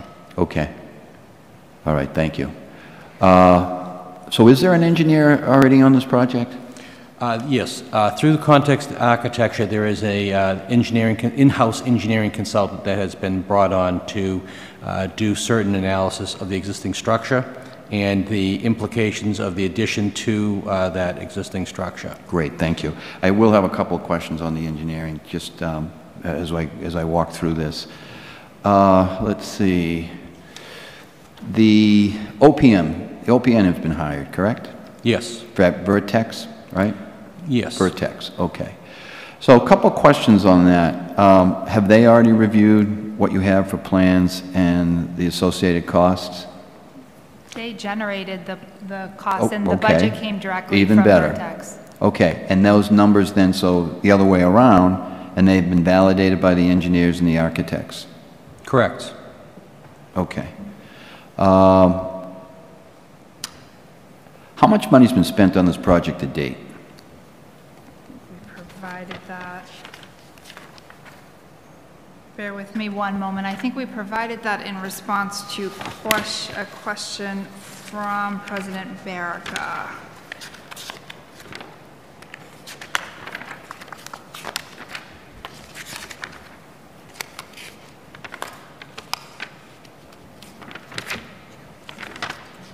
I'll, if you can come back to that, I'll find No, out. no worries, thank you, I appreciate that. Um, And do we have a, a project timeline of when there is an end date, an agreed-upon end date?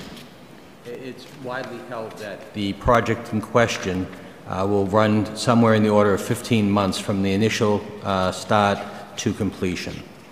Okay, 15 months. Okay, and the start date was, or is? It's, it's projected, right, the last projection that I saw was uh, November. November is what? The start or? The start. Start The date? start of construction. Start date, okay, thank you. November 22. Okay, I think I did see uh, that November 22 numbers uh, referenced somewhere in the documentation, thank you. Okay, 15 months. Um, And does the OPM, I mean, I note the, the OPM is being paid uh, 615, almost 616, uh, excuse me, $616,000. Uh, And does that OPM, are they contracted through the agreed-upon end date? Or do they stay on until this project, that cost represents till completion of the project regardless if it goes beyond the 15 months? I believe they committed to the project as opposed to the actual end date. Can you So- confirm that for me? Yes. That's Thank right. you. We can, pro- we can certainly provide, and I don't want to dig through and, and spend time, but I Great. can, I can provide copies of the contracts that have been executed with both Vertex and Context, and also confirm the dollar value expended to date. Thank you. Um, Okay. That, there's a few questions related with that I'll pass uh, on. Um, So, does the OPM also pick up the costs of uh, anything to do with construction, permitting, fees, anything of that nature? The OPM is contracted to strictly just oversee the project? Right. The OPM would work in conjunction with both the town and the architect and the design team, I should suggest, uh, to uh, monitor and to see through the end of the project. But the OPM, and I know in some situations, an OPM would take on that responsibility as part of an incentive, but not in this case. They're not No. going to be responsible for paying any kind of cost related to the project. No. Just provide a service. Correct. Great, thank you.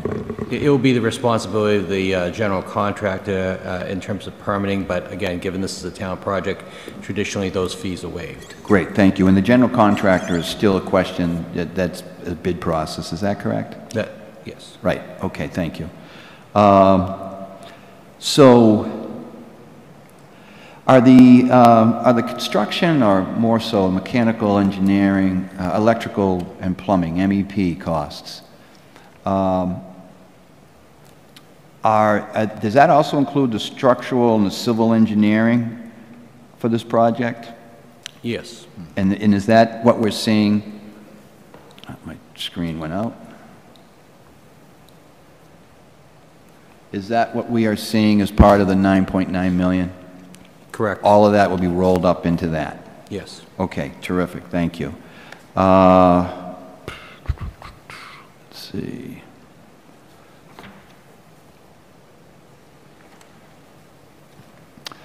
So, I know in looking at, um,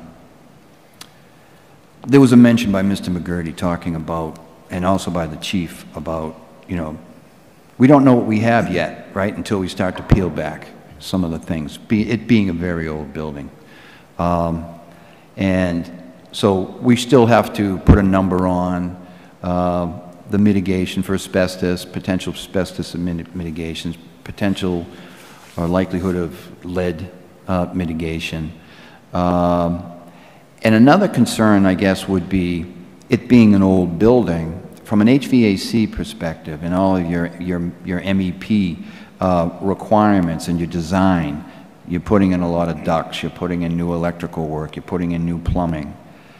Do you, does your architect have full insight into the entire building structure itself so that when you take a wall down, you're not going to run into maybe a concrete wall, you're not going to run into a support beam where you wanted to put in duct work or you wanted to run in electrical services or plumbing through?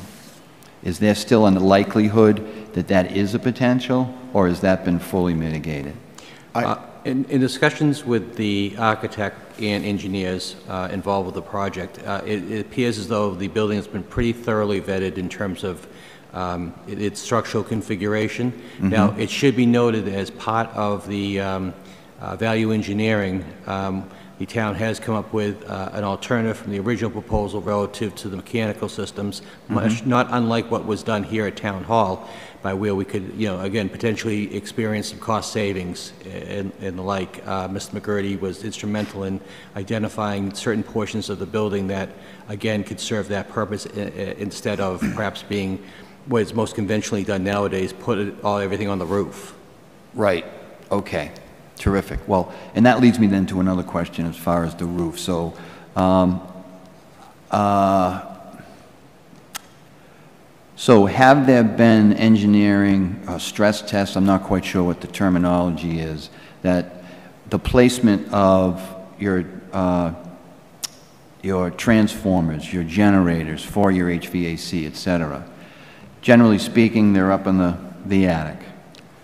And so is that equipment, you've already validated, that equipment can be handled, the weight can be Yes. handled within, within the building itself? Yes, and the, the generator that we use right now is actually outside the back of the building on the Okay. pavement. So that'll handle all of your, your HVAC? Yeah, they're gonna go Um, on the roof of the addition, I believe.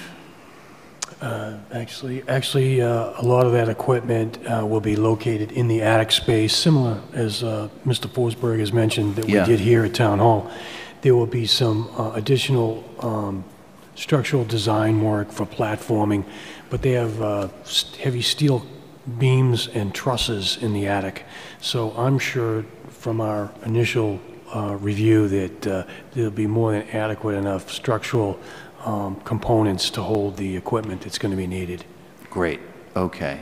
And so you, eh, but at this point, you can't, f- I mean, understandably so, you cannot specifically finalize exactly every little requirement of what you're going to be able to do there Well, until you get there, essentially. I provided uh, Vertex and Context with the original blueprints from Yeah, you had those. 19th, yeah. Wow.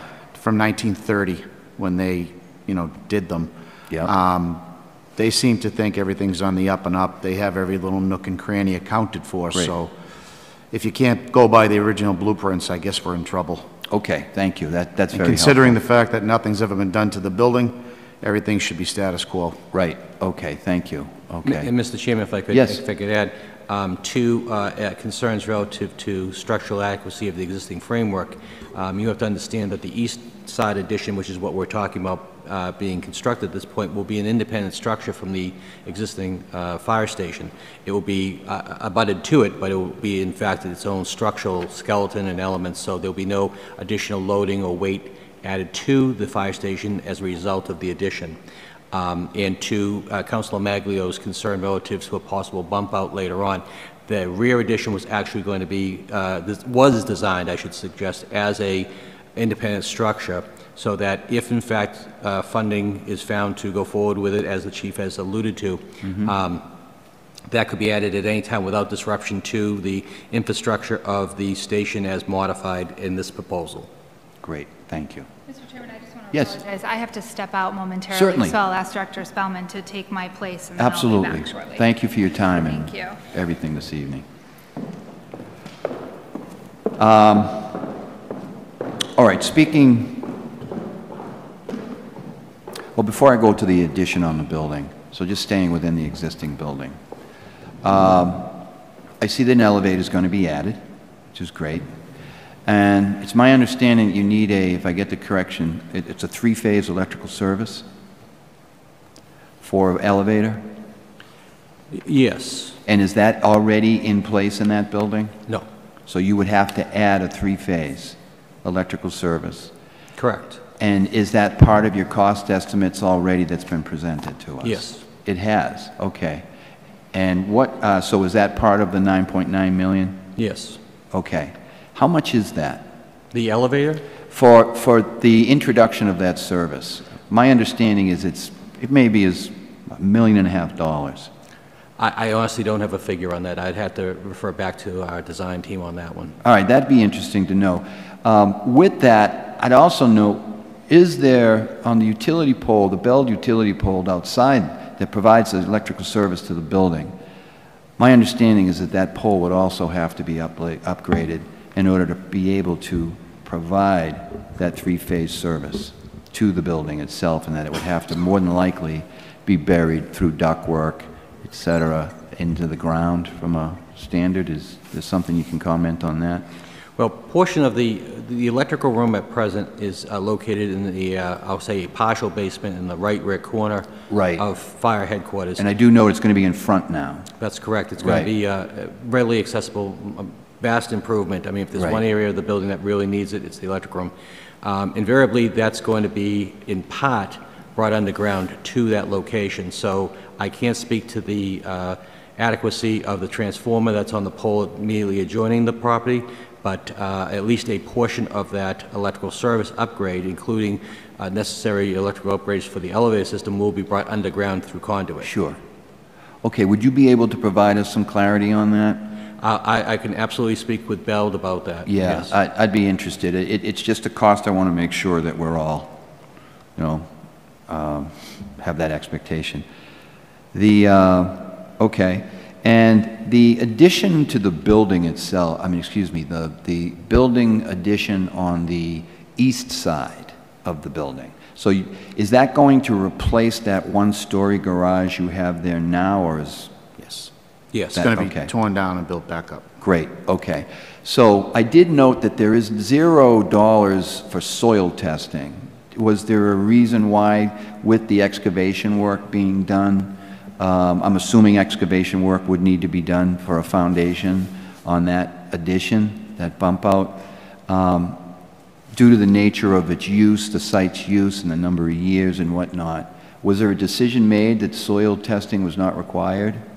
Not to my knowledge, no. Okay, so I did note that that is, is a blank on the cost estimate, so if we could get some information just on that as well. Uh, As I, as we said, I just again want to pause to, to, to say that, you know, these are, uh, we ask a lot of questions. I want this project done, really do, we do. But we have to make sure with, again, the, the environment that we're operating in, in very, very tight constraints, that, you know, we're really doing the best we can. And from what I'm hearing so far, it sounds like you're doing a very good job of that. Um, But in some cases, couple of sets of eyes looking at different things, particularly when it comes to complex projects like this.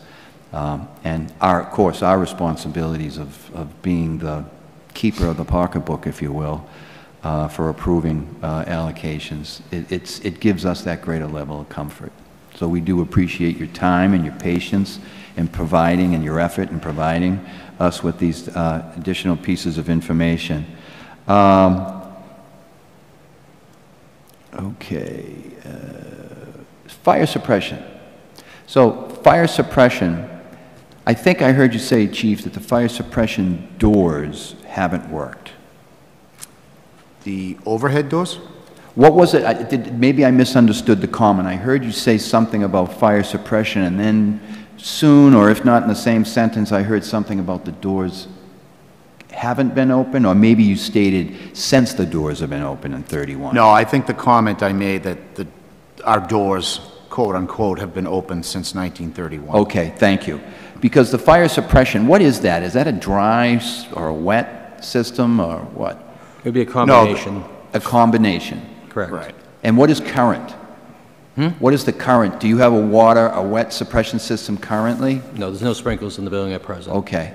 Would there be, and I guess this would be a question for you, Mr. Forsberg, with the introduction of that wet fire suppression system, is there going to be a need for the delivery or an, ex- an expansion of the uh, water lines to the building in order to accommodate the need or requirements of the, of a wet fire suppression system?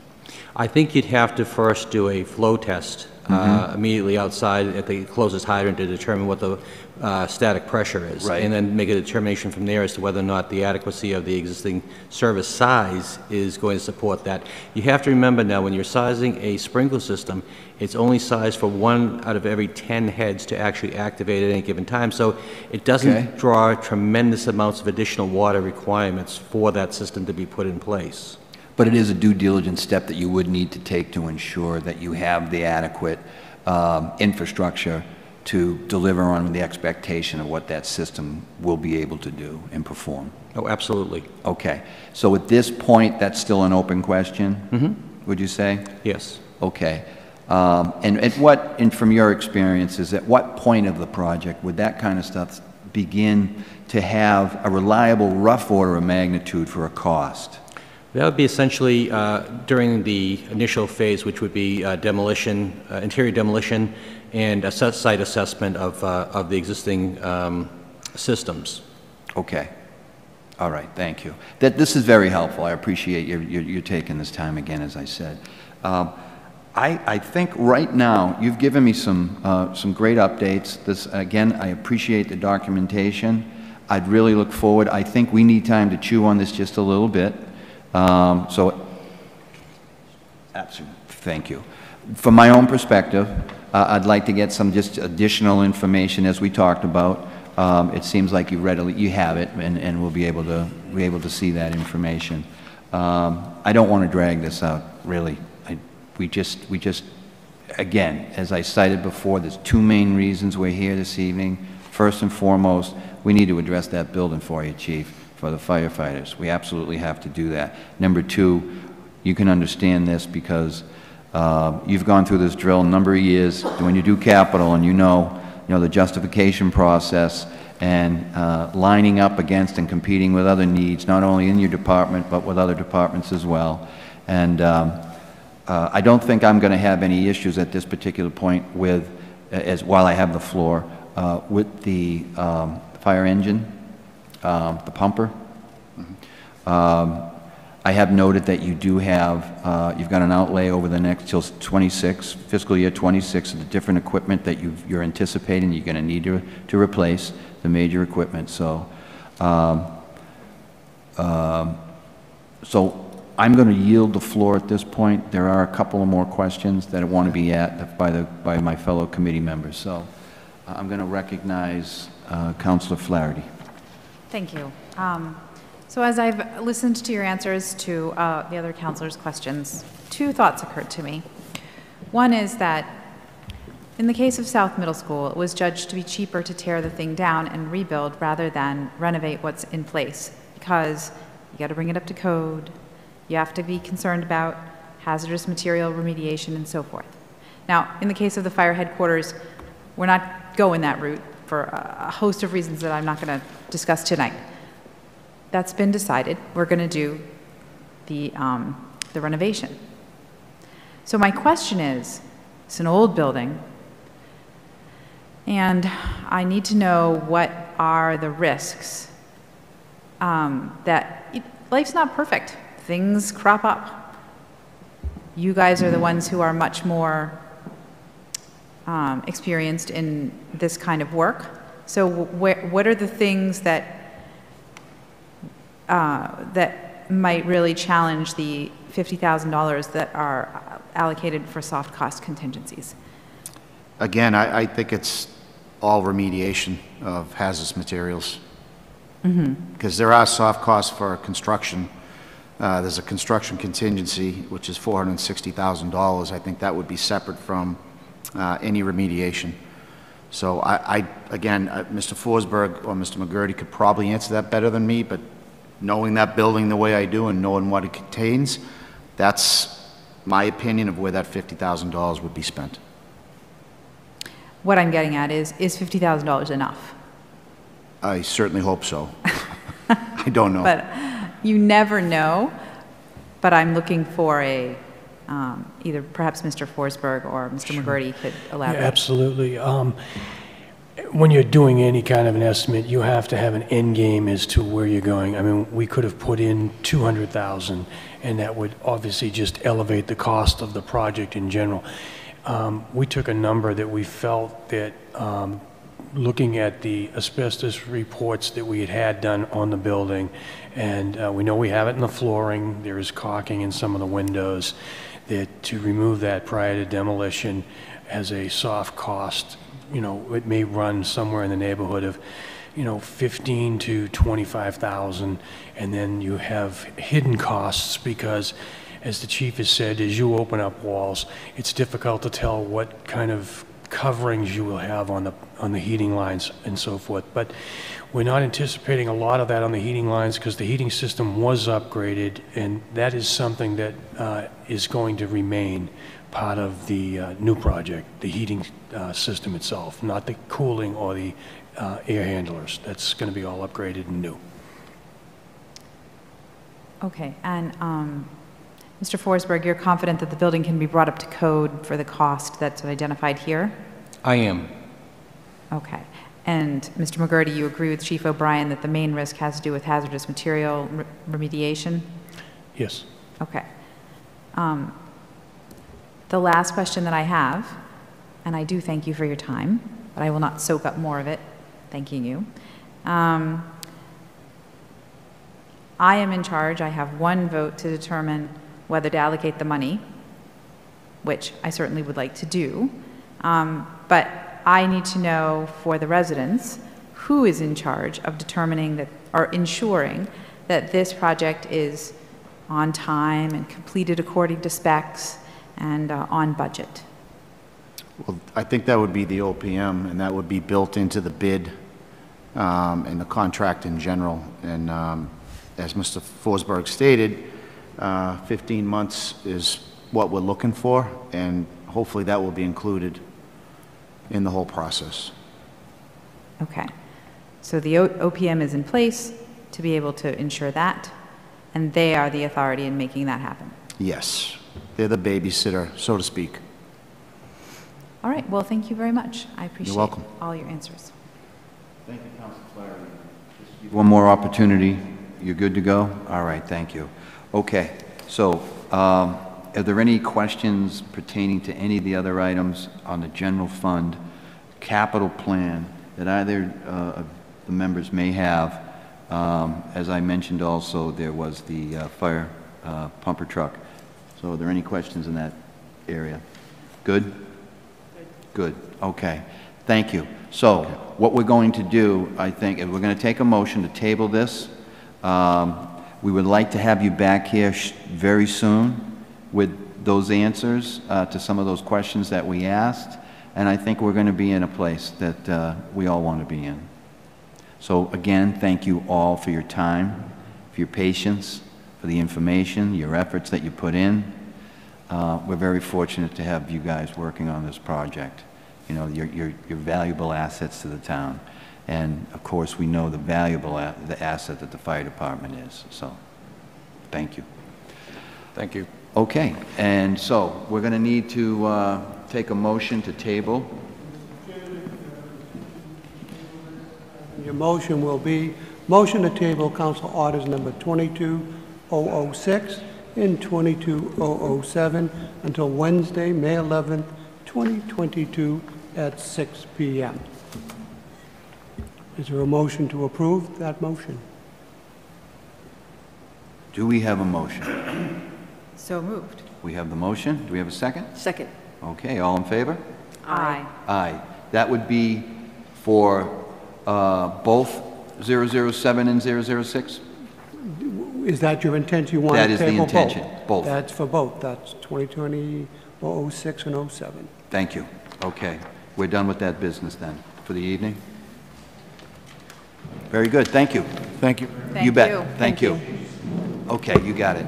Uh, We now have to open up, uh, or actually, do we need to table this? uh, Is there any tabling of? No, you the just capital? tabled it. You tabled Okay, so it. there's nothing more with the capital. Now we can move forward with the bringing out, uh, opening up the Now public you're going to be hearing. going on to Blue Hills Regional High School. Correct. Item number 22025. Very good, okay. Okay, there we go. Uh, Motion to take off the table order 22025. Do we have a second? Second. Okay, all in favor? Aye. Aye, very good, okay. So we now uh, have an open hearing on the FY 2023 operating budget.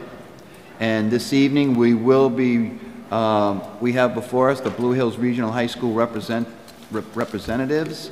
Um, We have, uh, if I'm not mistaken, I recognize one individual, former Braintree employee and always a, always a Braintree guy, uh, Eric Erskine, and he is the representative from the Blue Hills Regional School Committee for Braintree. Thanks, you just took half my uh, work away. Uh, Thank you, Mr. Chairman, members of the board, Mr. Casey, and Mr. Spellman. Uh, It's my pleasure to introduce uh, Jill Rosendi, I'm I'm sorry, Jill Rossetti, the superintendent, and Michelle Rosendi, the business manager. Well, it's a pleasure to meet you, and I want to say thank you for your indulgence with us this evening. We, I know we're a little late getting you here. Uh, we had a 6 o'clock uh, start time, but unfortunately, um, we've had business that has carried over, so we do appreciate your time. No problem. Um, Okay.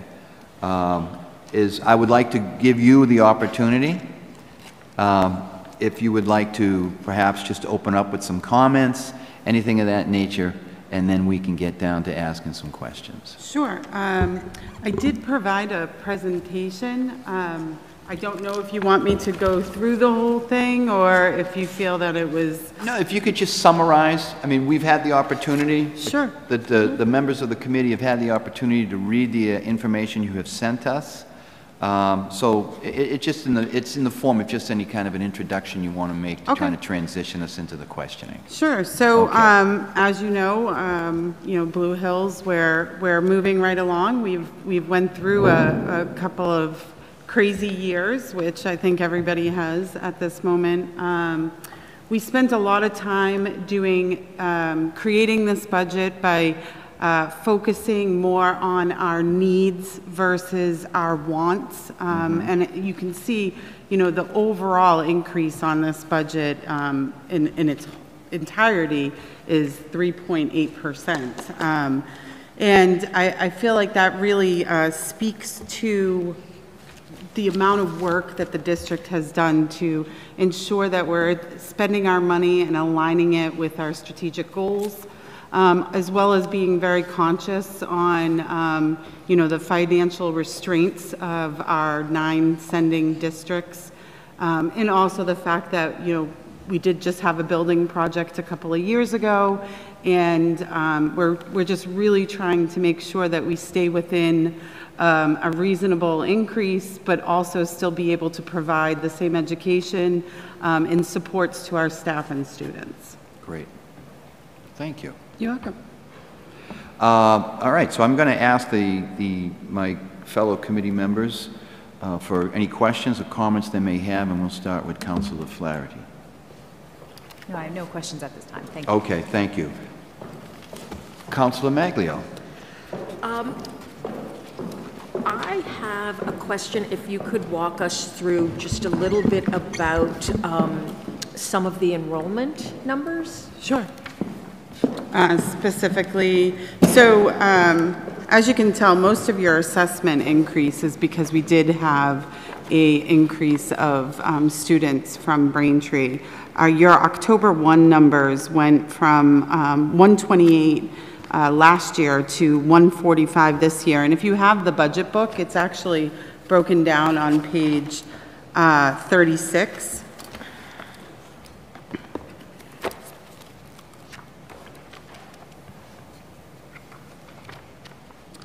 So you had an increase of 17 students um, for enrollment this year, which um, was, if you look on the last page of the budget book, this one. And I probably should have worn my glasses. Mine. Um,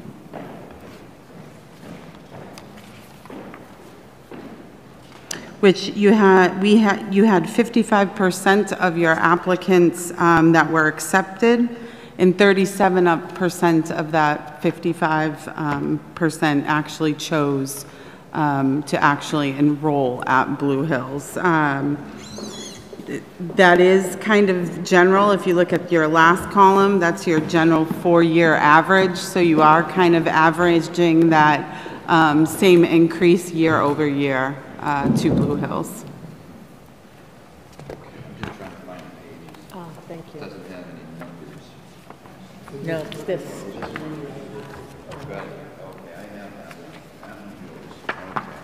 We have two different books. We have Yep. two different books here, so thank Oh, you. no, no Bearing problem. with us here. No All problem. right. Um, If you wanted to look at page 38, there's a couple of different um, enrollment um, charts that we do. Uh, Your um, enrollment changes over time for three, five, and seven years. It's the second uh, chart on that page.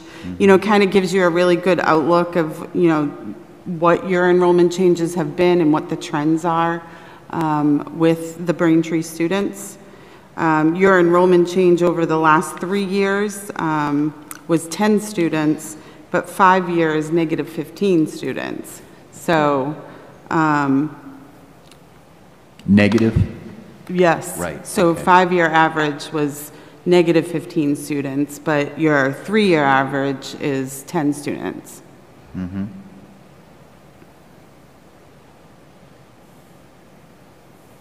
And on average, your assessment changes, if you wanted to look at the, the, the next chart on that sheet, um, over the last three years, your increases, your assessment increases due to um, mainly probably um, the enrollment, um, additional enrollment has been 5% on average.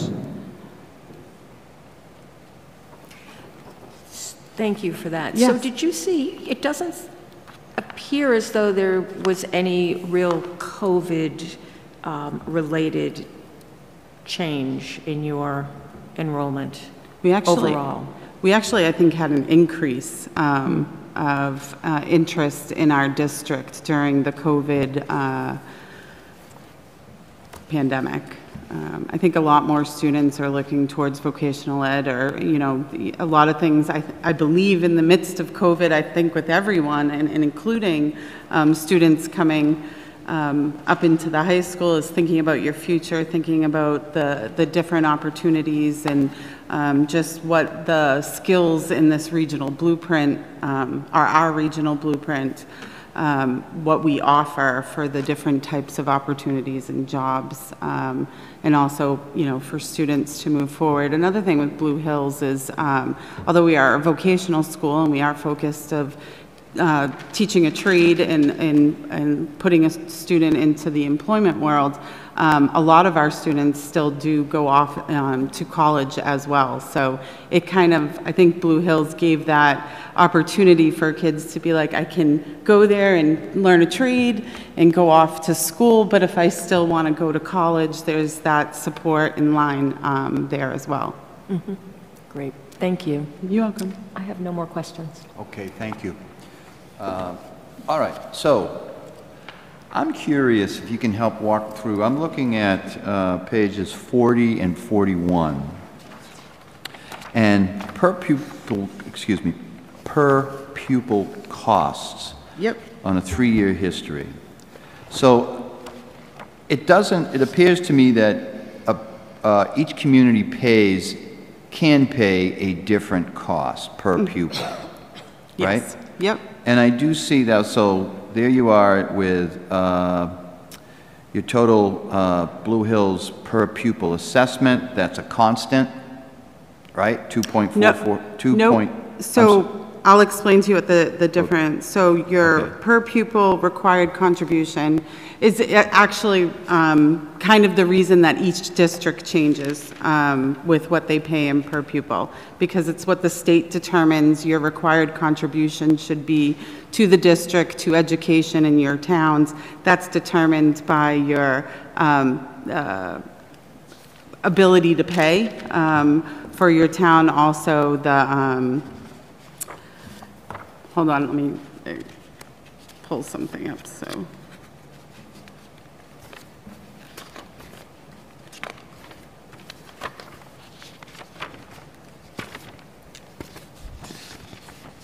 Of course, I can't find it in this paper. Um, But it- it's determined by each town's ability to pay, which is based off of their uh, median income in the town and also their property values. I was going to try and give you the exact calculation, but you can look it up on the. the, Okay, um, so generally speaking, I think you may have answered my question where I was Yes. going with this.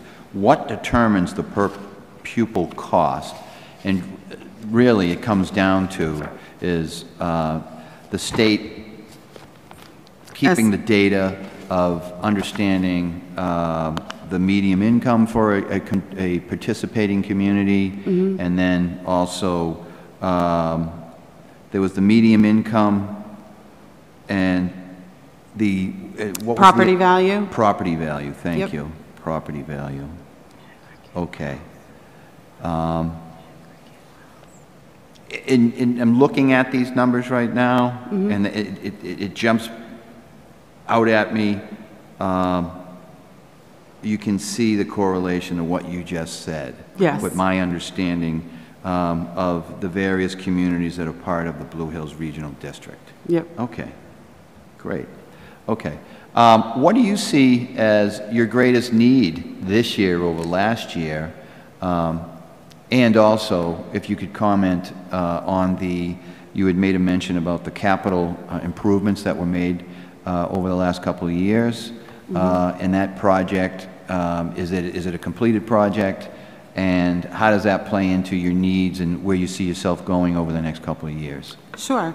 Um, For the building project, it is a completed project, but we have not gotten final sign-off from the MSBA, so we have not received all of our rem- reimbursement um, from them at this moment. Uh, They have postponed due to not having their meetings in person, I guess, to do the final um, sign-off. It was supposed to be last November. Okay. We've been kind of pushed out a couple of times. We're hoping um, preliminary, maybe August, um, which at that point will we'll be able to determine what our final reimbursements are, and then fully um, go out to bond for the remainder of the project.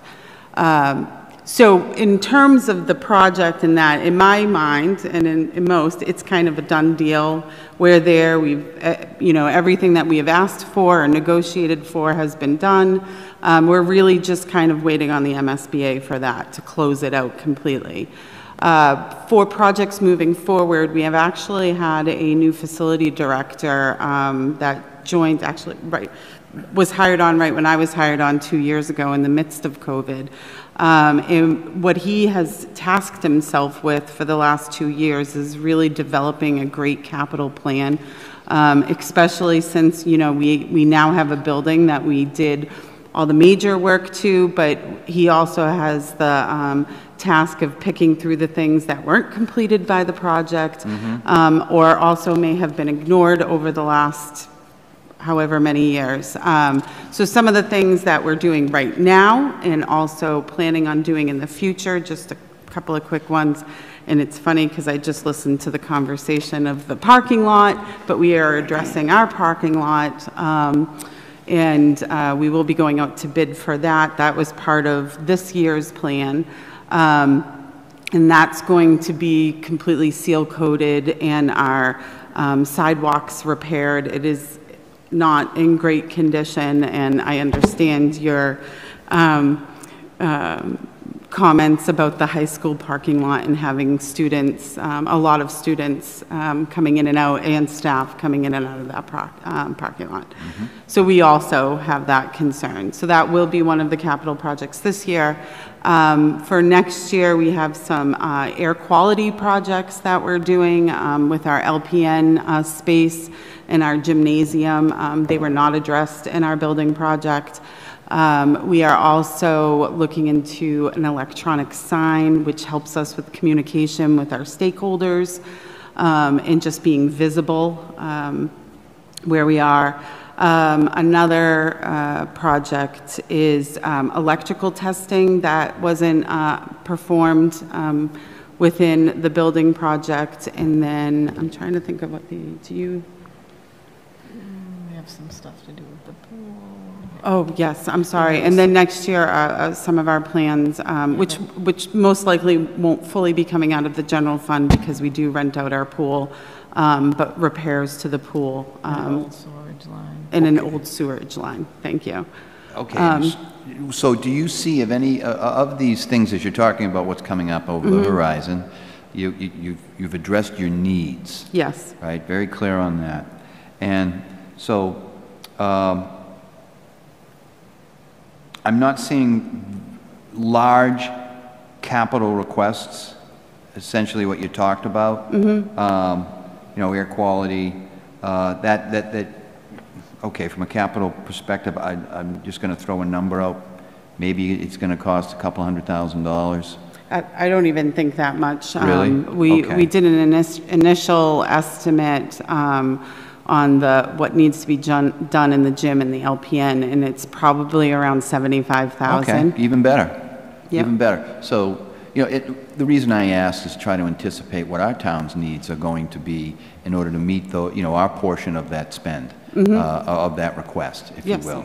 Um, So it doesn't look like there's anything major similar to what had just transpired with the, uh, with the MSB No, no, no. project. I think we're in really Yeah. great shape. And, and luckily, like through COVID, because of that renovation, um, we were able to focus those um, COVID relief funds and um, the other funds on, you know, um, supports or one-time purchases for the classroom. Um, That's really kind of where we focused those funds, which in turn was, gave us the ability to present this budget at um, such a um, smaller ask than I, than I, we initially had expected, you know, years ago when we were doing our projections, so. Well, that's good news. That's a good piece of news that came out of COVID. Yeah. We can say. And that building project. Right, exactly. So you got a twofer. Yes. Uh, All right. Um, And speaking of aid, COVID-related aid, Mhm. um, are you eligible, is Blue Hills Regional High School eligible to directly apply for the county? uh, We are not. ARPA? We- No, we, we are not. We would um, apply through our districts, but we felt, like, we gave, we had the opportunity to go back to our member towns and ask them Mhm. for pieces of their COVID relief funds or ESSER funds um, and such. Uh, But we felt like because we had had the building project and, um, you know, kind of um, didn't have to spend the money on the air quality, which was a lot of people's biggest expenses in school Yeah. districts around when it came to that, that um, we were in a better, a good enough place where we didn't have to go ask towns who had seven schools or 10 schools who probably didn't have updated um, uh, systems for a piece of their funds, so. Great. Okay, okay. Um, I guess my only other question would be not, i- i- you've answered my questions as they pertain to the budget specific and the budget requests. Mhm. You've given me some background information that makes me feel more comfortable about things. Um, Going forward, just from a curricular, this is more our curiosity from my perspective. Mhm. Going forward from a curricular, curriculum standpoint, do you see uh, any of the types of uh, training opportunities changing or evolving because of just the way, uh, I guess, society and technology is changing? Or you still feel as if that um, the curriculum, the core curriculum that you provide from a trades perspective, a vocation perspective, Mhm. are still very, very relevant? if I may. Uh, Sure. I'm not sure if they said it, my hearing's not too good. Um, You asked what the school really needs? Bigger school. A Uh, bigger school. This year alone, uh, parents are looking uh, the future of their children. 500 and over 30 students applied for Blue Hills. That's more than half uh, what we can accept. So since COVID, the parents are looking, do the kids really need to go to college? Are they getting uh, work when they get out of college? And Blue Hills isn't, it's not a second um, direction. A lot of the kids from Blue Hills go to secondary um, colleges, uh, two-year, four-year, military, uh, other ITs. So we're not trying to just stick these kids in one location and say, hey, this is what you're going to do the rest of your life. It's a choice they have. It's an extra benefit that a lot of kids do not have going to their regular uh, town schools. And I'm a great advocate for it. Class of 81, BHR. Um, just had my 41st. All right. So um, I really do push the school. I know some uh, people here probably had students there, and um, myself. Well, And yeah, so. I'm sorry. So that's, that's what we really need, a bigger school, but. A bigger Don't we school. all? Um, You know, Holbrook is busting at the seams. I think they'd be over the limit if we didn't take some of their students out of the town, and I think uh, the other towns also. So when we did the project, uh, and also Holbrook has a brand-new school. I call it a tri-school. Uh, It's all three elementary, middle, and high school, all in one building, uh, which is separated. But they're busting at the seams. Uh, We have a lot of construction going on down there right now, and um, hopefully they can get some more money from the state. But I wish we were able to get some more money for the state just to add on a, a few classrooms that, so we could take more kids into this programs. So, that's all. Thank you. Well, I tell you, I I agree, Blue Hills is a tremendous asset for young kids today.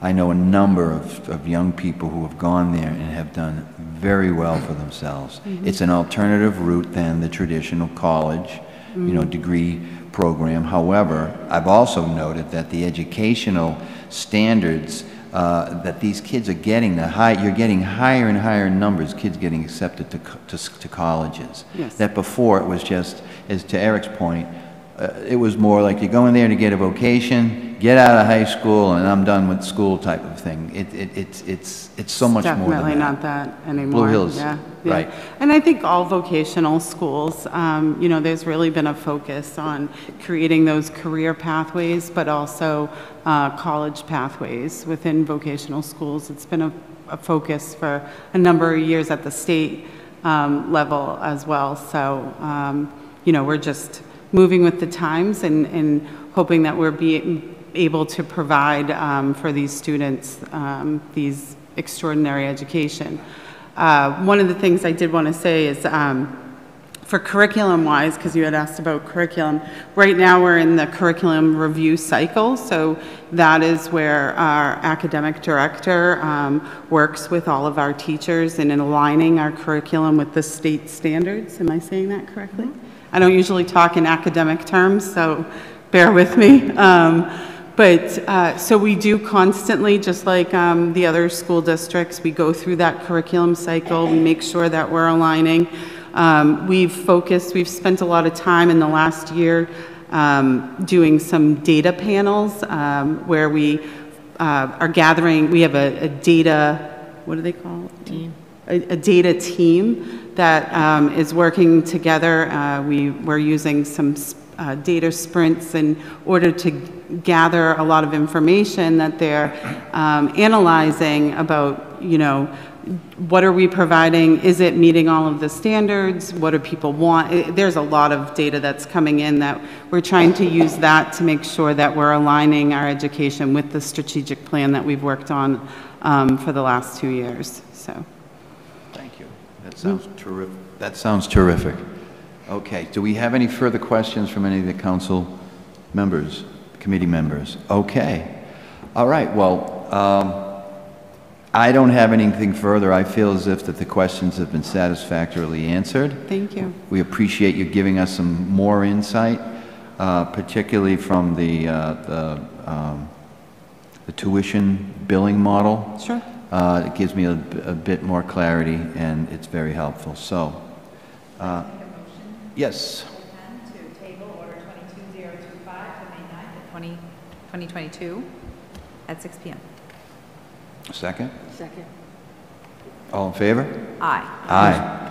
Awesome. Mr. Chairman, what is the reason to table it to May 9th? It says on my paper. Oh, it well, if you, if Well, we you- can approve. I If mean- you have, um, feel that you have met the needs of this um, presentation, you can make a motion for a favorable recommendation, um, and then that will be taken up on the 31st. For just this portion? Just for the Blue Hills, yeah, like so, you're, you're gonna make an, you, you wanna make a favorable recommendation on the budget, if you believe that. If you want to table it, that means you want them to come back. So I was just tabling it because I know that we have a great deal more budget to discuss, and I thought the budget was one whole Yeah, no, thing. Well, then, I am happy to make a motion to favorably recommend Order 22025. Do we have to untable? Miss- No, you- Mr. Clerk and Mr. Chairman, first, there was already a motion and a second, and I think it was voted, but also what we've been doing, um, what we did last evening with the four budgets that were presented was the entirety of the budget was tabled to the subsequent evening, and what I would anticipate is at the, at the final hearing, the budget, as was suggested by Councilor Flaherty, would be voted as a whole, and it's the, the revolving funds and the community preservation accounts that get voted separately. okay, when, when is the final meeting that you have uh, scheduled for? Because it should be tabled for that night, there's no need to have it ta- be taken up on the, Well, the night. outside, outside of any callbacks, which I do not anticipate this, this item being called back. Okay, so motion it, uh, amend the motion. Final. A- Again, Mr. Clerk, though, the, the- each depart, each program doesn't have an independent motion number, where the Right. entire budget has one motion number. This committee will be taking up the budget again on May 9th. Right, so we'll be continuing each evening of the meeting that we have concerning the overall budget to table until we get to the night where we have reviewed every item of the budget and we're able to make a vote. I believe that's correct, Mr. Right. Chairman. Okay. I do appreciate both of you walking through that with us. I mean, this is, uh, I mean, there are so many different motions. Okay, thank you. So at this point, we don't need to take any further action. Just a motion to adjourn. Motion, all right, so we're not going to, wait a minute, what did I see here? That was revolving, was, all of these have been continued, all Do they right. know when they need to come back, if they need to come back at all? Um, uh, They should come back on the 31st, 31st is town meeting. of the town meeting. That's We, when we generally do um, come for your town meetings. Very good. Next 31st, they should be coming back. Okay. Then we will see you on the 31st. Perfect. We appreciate your time this evening. Thank you so much. We appreciate it. Okay. So, do we have a motion to adjourn? That's what they call it. So moved? Second. We, all in favor? Aye. Aye. Thank you, Eric. Thank you, everybody. Thank you. Good night. Thank you for your time.